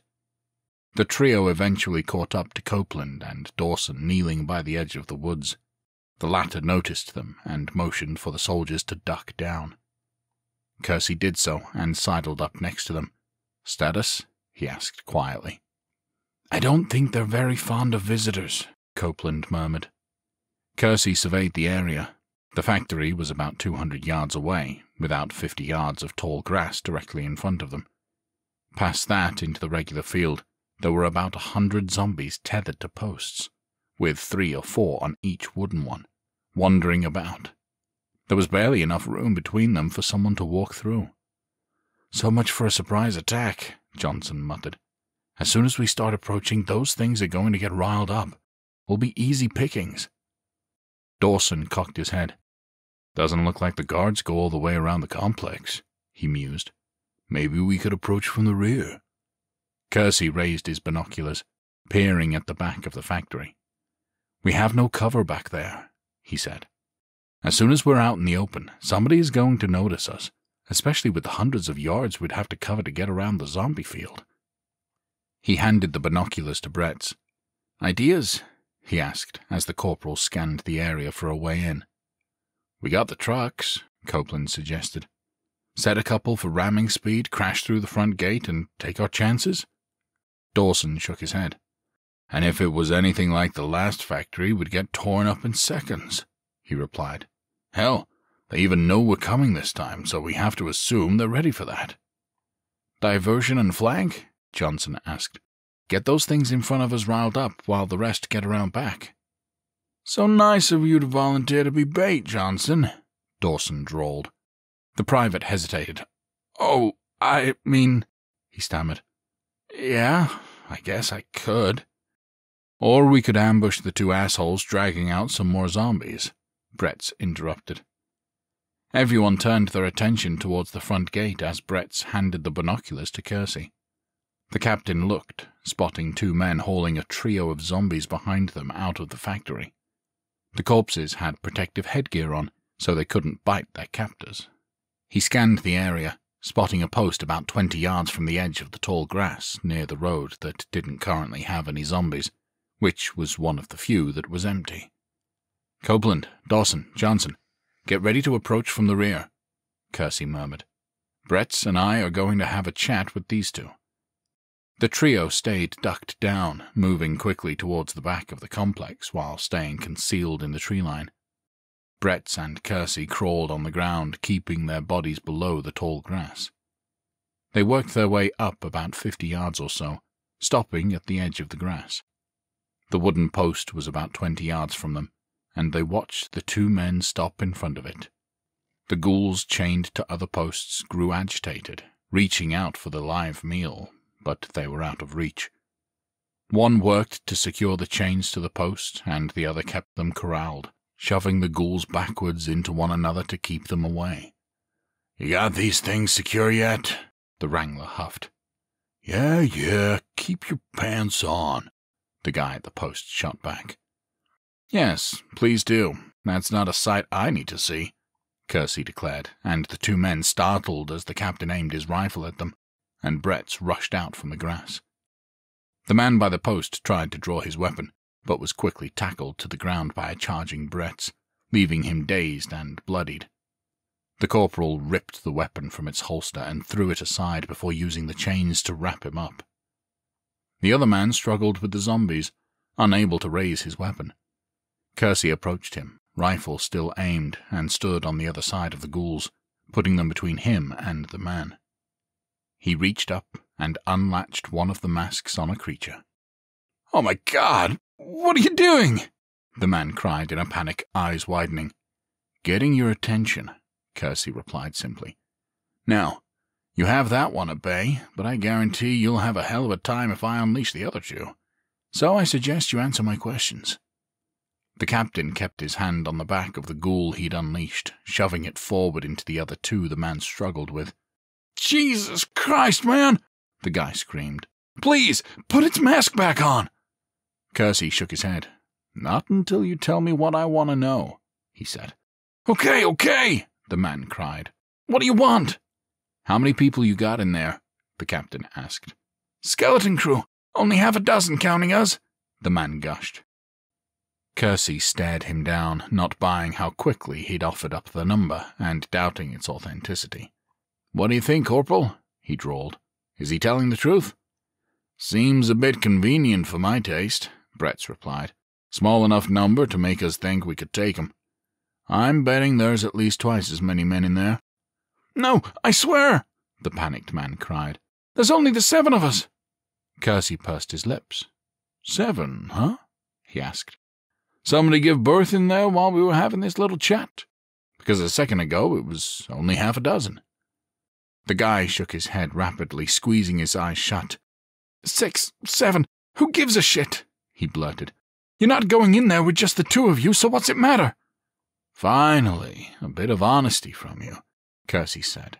Still, I would like an accurate number. He pushed the unmasked zombie to the side so he could reach over and flick open another one. Oh God! Oh God! the man cried, struggling to keep them in place, especially now that one of them had access to his arm. He gripped the back of its neck, pushing its head back. Okay, there's twelve. Now please help me. That sounds a little more realistic, Brett said, and pulled out his walkie talkie. Copeland, you copy? We're in position, the sergeant replied. What's the status? About to raise some hell out here, Brett replied. Most likely a dozen hostiles inside. Not for long, Copeland quipped. Brett smirked and inclined his head to Kersey. I like him, he said, and then held the walkie talkie back up to his mouth. Stand by. The captain reached out and unlatched the last masked zombie, and the man's eyes went wide as saucers. Come on! I told you what you wanted to know! he screamed. Kersey nodded. Yep, you did, he said calmly. But still, you work for a group that is actively trying to kill innocent people, not to mention my own people, so I can't just let you go either. The Wrangler let out a sob, his expression betraying his fear that this was it for him. After a beat of letting him wallow in that, Kersey pulled out his knife and stabbed the back of each of the zombies' skulls in quick succession. As soon as the corpses dropped to the ground, he aimed his rifle at the stunned man. You take that gun out, nice and slow, Kersey demanded. Toss it into that group of zombies to the right. The man complied, slowly drawing his handgun and throwing it over, the piece landing in between four ghouls tethered to a pole. Bretts picked up the other man, holding the back of his collar and shoving him in front of him. Kersey did the same with his captive. Here's what's going to happen, he said, voice low and menacing. You're going to lead us through this zombie minefield and up to the front gate. Once you let us in, we'll let you go on your merry way. The two zombie wranglers looked at each other and shrugged. Okay, you're going to need to stay close, Kersey's man said. There's not a lot of room between the zombie posts. Lead the way, the captain replied with a nod. But let me be very clear. If you try to get cute, try to mislead us into the grasp of a zombie, you're getting fed to them, understand? Yep, the man replied, voice shrill. Understand perfectly. Come on. They moved in single file, the factory gate about a 150 yards away. In that space, there were easily a hundred zombies in front of them, all hungry and excited. They started walking, the lead man weaving them in and around the outstretched arms of the dead. Kersey kept a close watch on them, making sure each and every chain was secure on the legs of the beasts. Zombie guard dogs, really? Bretts asked. Whose bright idea was that? Conrad, his captive replied, shaking his head. After you boys shot up his men the last time, he felt like we needed to protect our interests. The soldiers stiffened. Conrad's here, Bretts demanded. The Wrangler stammered, no words coming out of his mouth, likely realizing he'd just royally screwed up by mentioning his boss by name. Bretts shook him a little. I'll ask again, he snapped. Conrad is here? The man didn't respond, which caused the corporal to growl.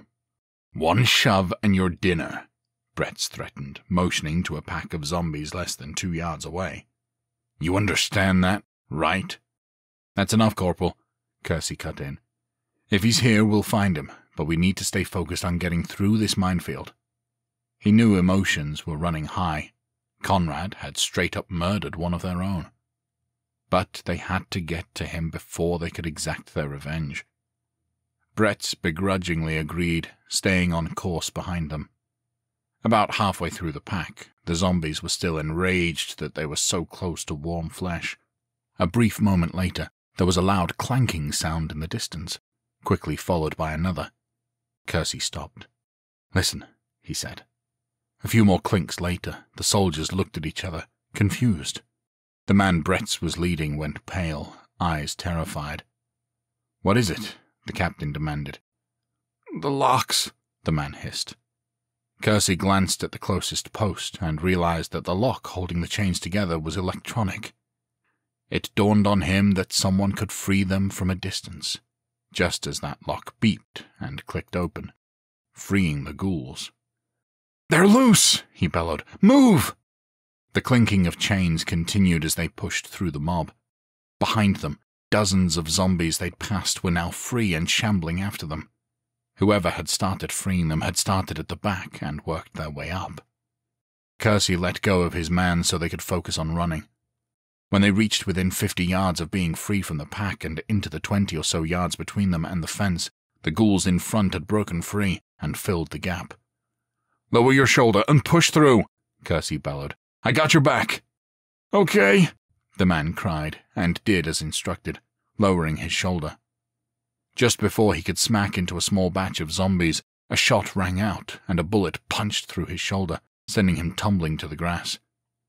The man landed right at the feet of a few zombies, and the corpses immediately pounced on him, ripping into his flesh as he screamed in terror and pain.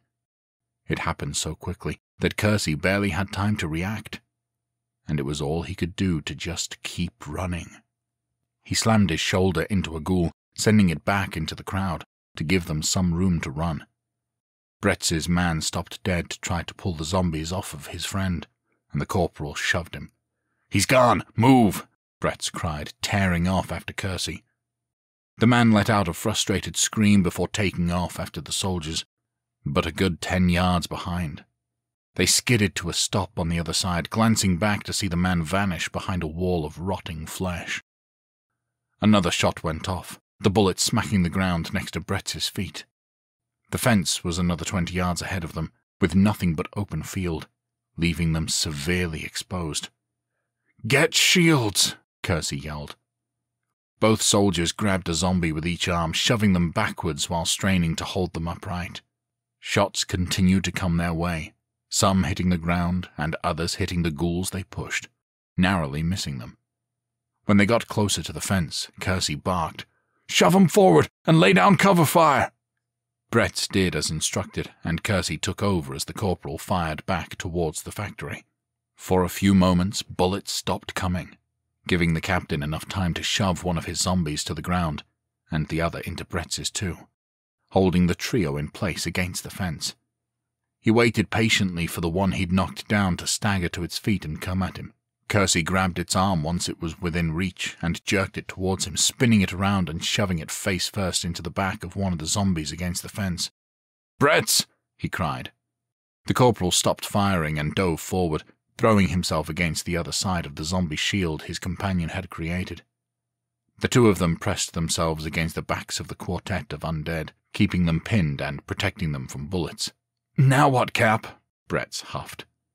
Kersey raised his walkie-talkie to his lips. Copeland, we're exposed and have a shooter on the... A shot rang out, the bullet piercing through one ghoul and into another one, sending dark blood spraying everywhere. Find him quick, or we're toast! Kersey urged. On it, Captain. Copeland came back. Kersey raised his rifle back towards the horde that was slowly marching their way, only about twenty-five yards from the fence. Pick your targets and slow 'em down, Kersey instructed, pressing his back against their flailing shield. Bretts did the same beside him, and the two soldiers began shooting. They took down zombies with precision, strategically dropping corpses that would trip up the others. Kersey kept his eyes on the prize, shoving down his worry as bullets continued to smack into their zombie barricade. Copeland, you better hurry, he thought. Chapter 7 Copeland, Dawson, and Johnson were on the back end of the complex, off to the side, still concealed by the trees. It was about a sixty yard run to the back fence and from their vantage point they could see three armed guards looking around, spread out by twenty yards. That's going to be a hell of a run if they can't distract them, Dawson said. Copeland shook his head. If they can't, though, we need a plan of action, he said. We're getting in there one way or another. I'm all ears, Sarge, Dawson said with a sigh. Johnson, you any good with that rifle? the sergeant asked. The private shrugged. I'm not going to be sniping them from half a mile away like Kowalski or Wade, but I'm pretty confident I can hit a target from this distance, he replied, or get close enough to make them find cover. I can live with that, Copeland said with a nod. So, if it comes to it, rifle shots went off in the distance, and the soldiers shared a glance. Doesn't look like it's going to, Johnson said. A couple more shots went off, but the trio of men didn't move inside the factory fencing. That's not good, Dawson muttered. After several tense moments, the gunfire intensified. We're going to have to make a move, Copeland said, and took a deep breath. Copeland, we're exposed and have a shooter on the. Kersey came through the walkie talkie, but another shot cut him off. Find him, quick, or we're toast. On it, Captain, Copeland replied into the radio and slung his rifle over his shoulder, drawing his handgun. Take care of the guards, follow me in, and for the love of God, don't shoot me in the back. Before either of them could respond, he broke from cover, running at full tilt towards the fence. Shit! Dawson hissed, and the two privates scrambled to their feet and readied their rifles, taking aim at the guards on the other side of the fence. Copeland ran full speed ahead, and the guards took notice, firing a couple of shots at him that narrowly missed. Dawson aimed and fired first, managing to hit one of the gunmen in the chest, sending him to the ground. This caused the man next to him to stop shooting for a moment, looking over at his dying friend. Before he could turn and start firing again, Johnson hit his target, the gunman on the other side of him.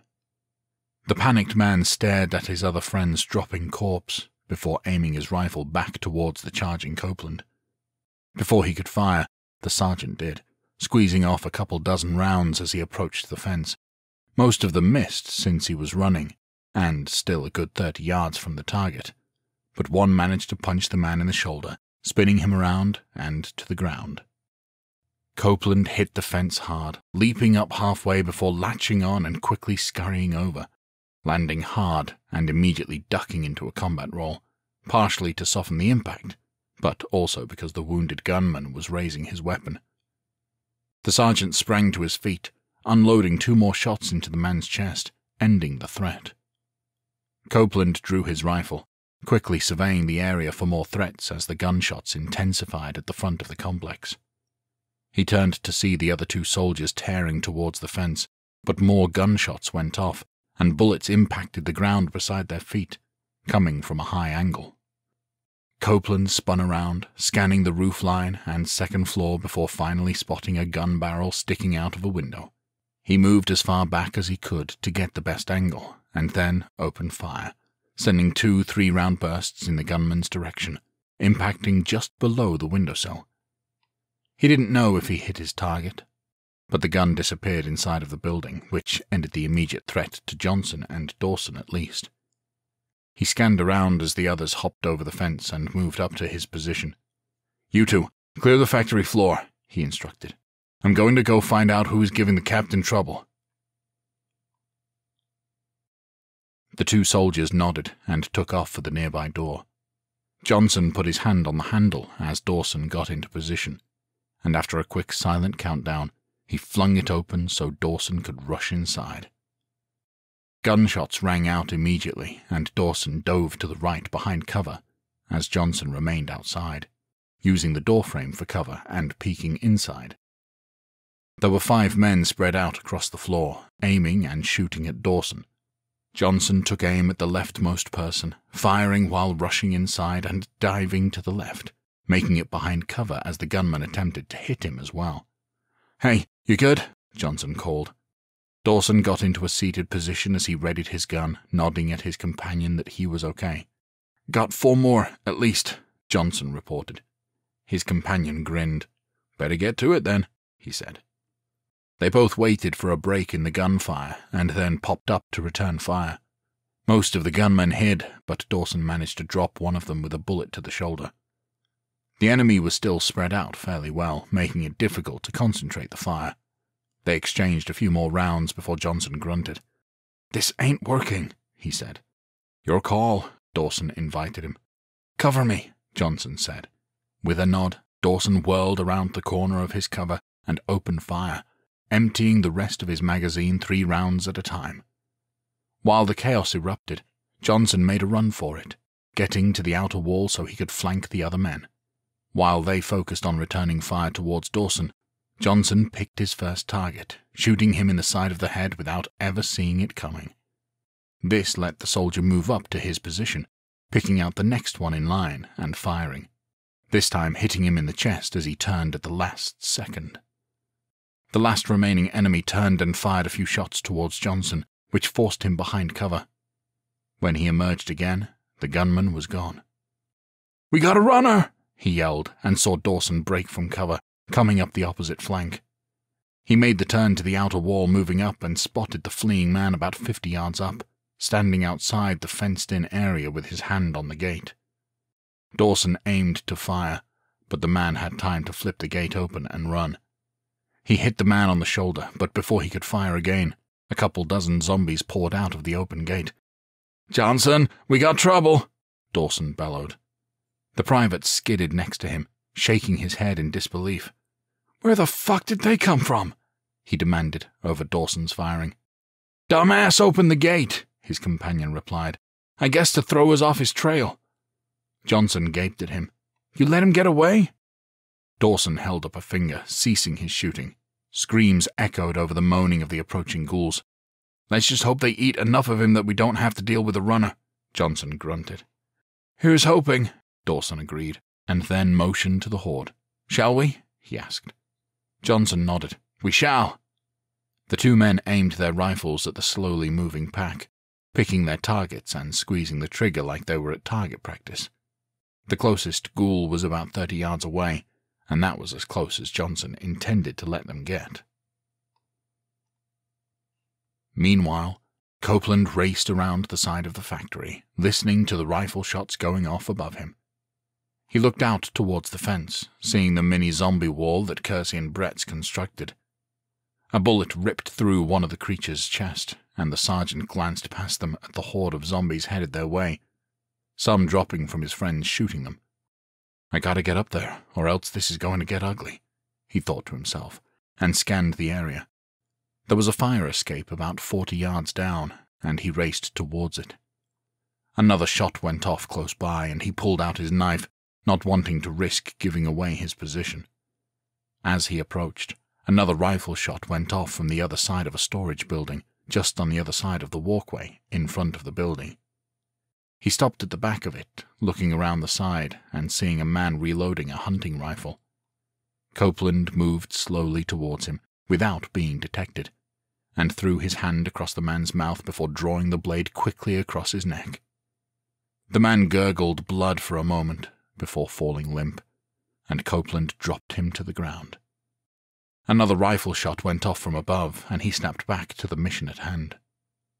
The sergeant raced up the fire escape, reaching the second floor.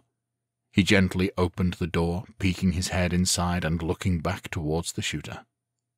Two men positioned by the window, each of them taking turns aiming and firing. It was about a forty yards run to get to them, so he had to pick his time to move. The man closest to him was portly, easily over two hundred pounds. Copeland waited until the man closest to him fired and pulled back into reload. As soon as he did, the sergeant broke from the doorway, running as hard as he could towards the enemy. His heavy boots on the metal floor echoed throughout the building, evident even over the zombie moans and constant gunfire. The enemy turned and saw him rushing up and dropped his rifle in shock, reaching for a handgun in his side holster. Copeland opened fire with his own handgun, smacking the man in the chest three times. He slumped back, and his friend caught him, the dead weight pinning him to the ground and his rifle falling to the side. The sergeant rushed him, putting his foot on the dead gunman and aiming his handgun at the head of the other shooter. You just stay right there, he warned, and then leaned towards the window. Captain, we're good, he yelled. Get your ass in here! He watched as the duo quickly executed their zombie shield and then scaled the fence, which, luckily, didn't have barbed wire on it. They hit the ground, laying there for a few moments to catch their breath, as the zombies they were fending off got to the gate. Copeland turned to his captive, still pinned beneath the weight of the dead man, and the sergeant's boot. Okay, I surrender, the man groaned. Now can you get this guy off of me? You'll be all right, Copeland drawled.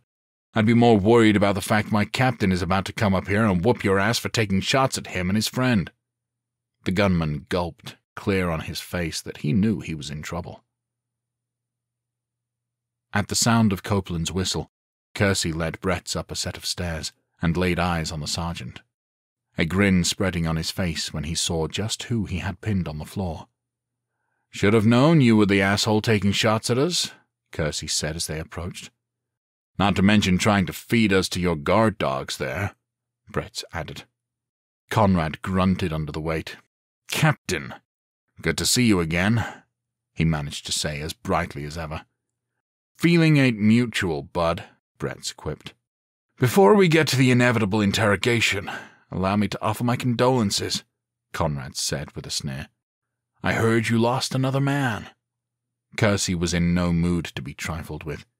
He drew his handgun and aimed it at Conrad's head.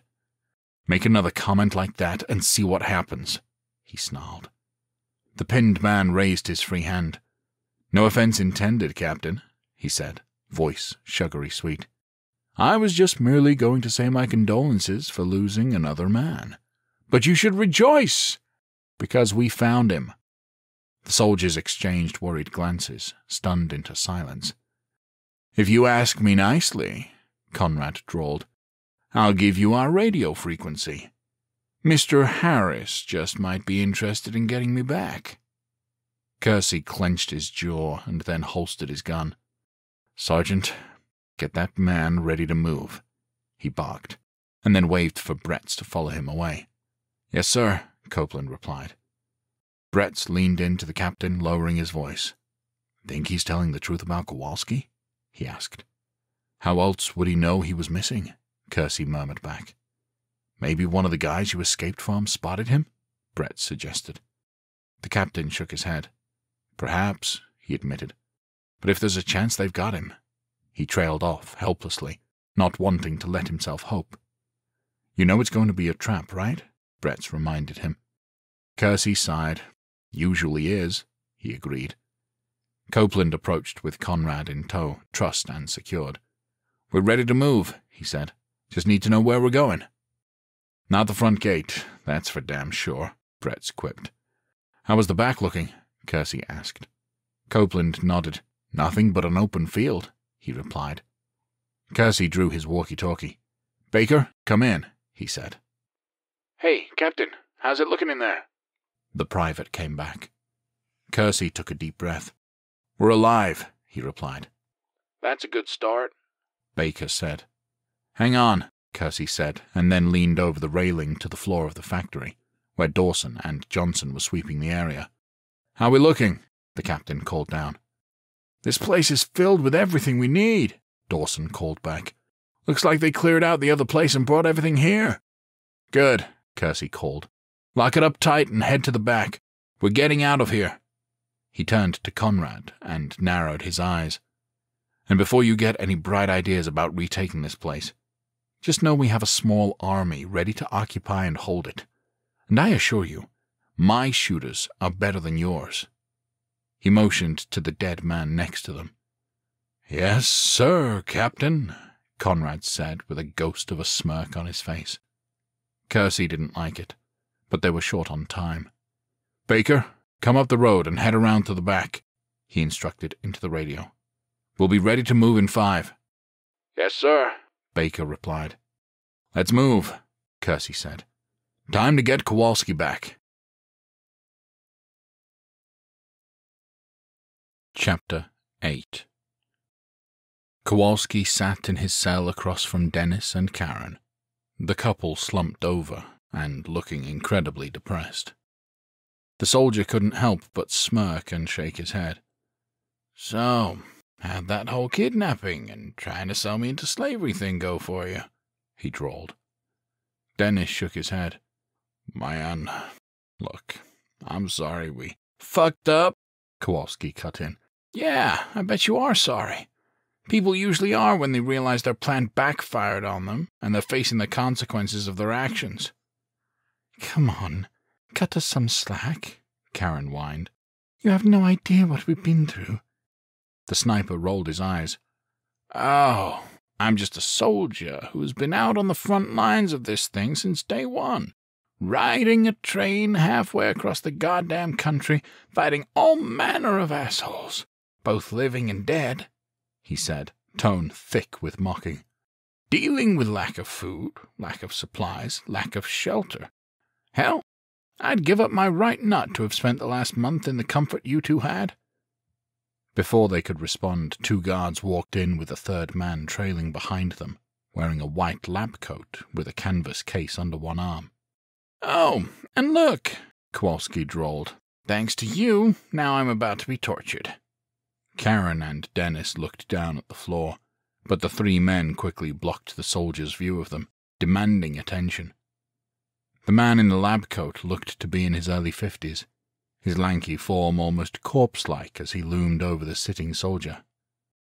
Now, now, Mr. Kowalski, the torture only happens if you don't answer my questions, he said sweetly, the fluorescent light shining off of his bald head. If you do, then it's just a friendly little chat.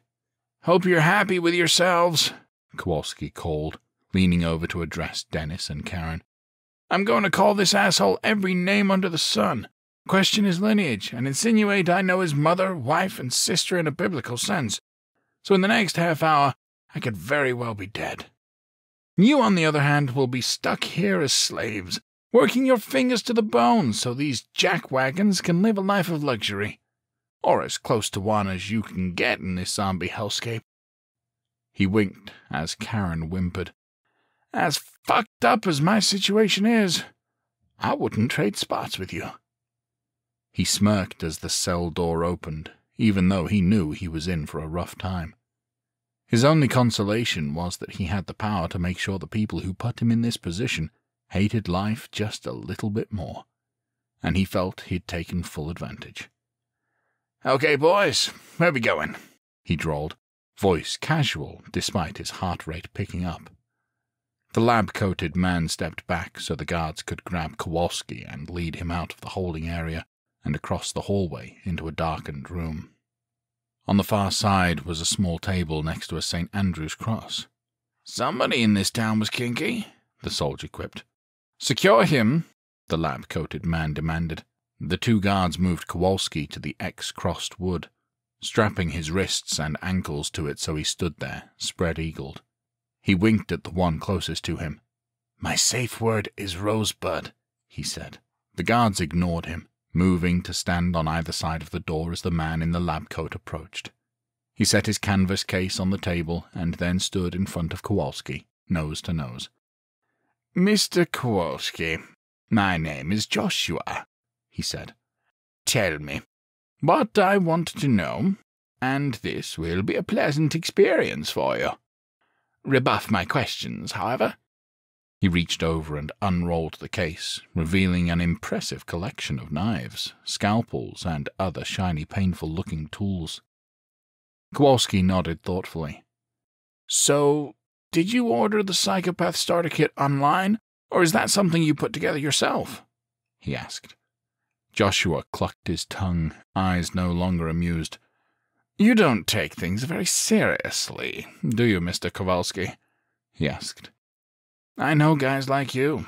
I can see that look in your eye, the soldier replied. It doesn't matter what I say, you're going to get your pound of flesh regardless.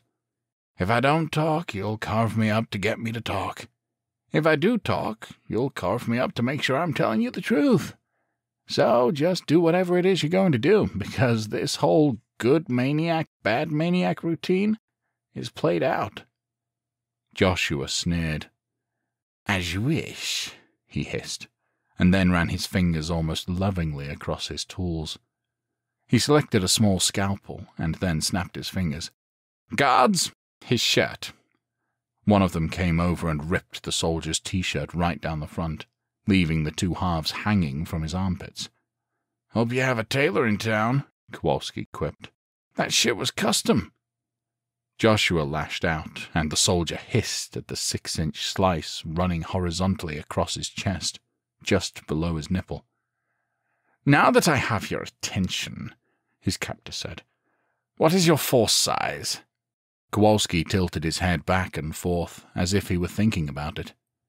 Somewhere north of your mom's weight, which clearly shows we outnumber you, he drawled. And before you say anything, I know I said I know your mother biblically, but what can I say? I'm a chubby chaser.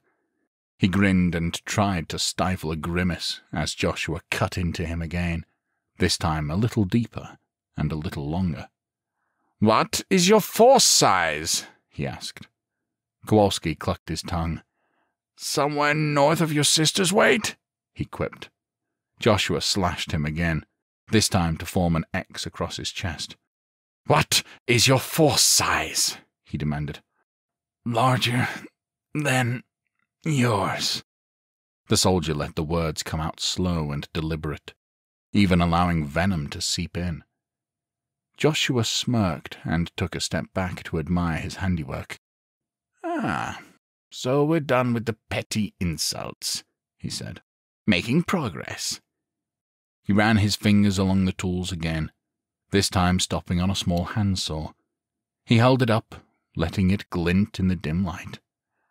A few cuts on your chest, and you're speaking almost rationally. I wonder what your response to losing a finger or two will be. Kowalski balled his hands up into tight fists, and Joshua reached up to try to pry one of them open to no avail. Guards, he called over his shoulder, I need your assistance. Nobody approached, and his brow furrowed. Didn't take long for them to get tired of your shit, Kowalski quipped. Joshua ignored him and walked out into the hallway. How dare you leave me in... He stopped short and cleared his throat. Oh, I'm sorry, sir. Joshua, it's okay, Ted said from the hallway, and Kowalski strained his ears, his interest piqued. I'm the one who should be apologizing. I know how once you get going, it hurts the process for you to be interrupted. And believe me, I wouldn't have done it without a very good reason. He paused. Now, I'm going to go out on a limb here and assume he hasn't given you much of anything. Just making rude comments about my mother's weight, Joshua said dryly, and Kowalski snorted. That is unfortunate, Ted replied. I hope you extracted a little bit of pain for that slight. I did, Joshua replied, impatience evident in his tone.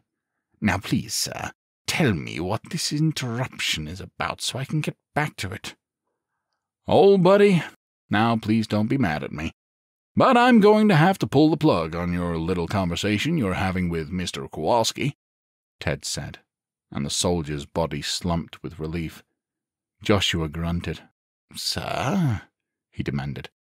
Don't take it personal. I know full well you are capable of getting me the answers I need, Ted assured him. However, a new opportunity came up, and I'm going to take it. Kowalski's mind raced his heart leaping with hope. Had his comrades found him? Were they planning some kind of rescue? Was he getting out of this hellhole without dying at the hands of a sadistic madman? Now see, Conrad's gone and gotten himself captured by these invaders, and they kinda called us offering a trade, Ted continued. Joshua sighed. Prisoner exchange? he asked. Exactly, Ted replied. Now, it's my belief these boys aren't working with a big crew, and if my hunch is right, we'll not only be able to confirm that fact, but we just might be able to take them all out when we do the exchange. Kowalski's blood boiled, but he had to be smart about this. The captain had faced smarter and more ruthless assholes than this one. As we speak, Mitch is putting together a sizable strike force and heading out to the old O'Neill place about halfway between here and Kuna. Ted continued. Unless they show up in force, they're going to have a surprise on their hands once we get Conrad back. And if that doesn't work? Joshua asked. Ted chuckled. When have you known me to not have a big old contingency plan? he asked. I'm disappointed, but I understand, sir, Joshua said with a sigh. Well, all is not lost, Ted said and stepped into view of the door as he put his arm around the lab coated man. You see, We still have two newcomers who need to be broken in so they understand their new situation in life. Joshua grinned, the darkness in his eyes making Kowalski's stomach churn. I won't disappoint you, sir, he said.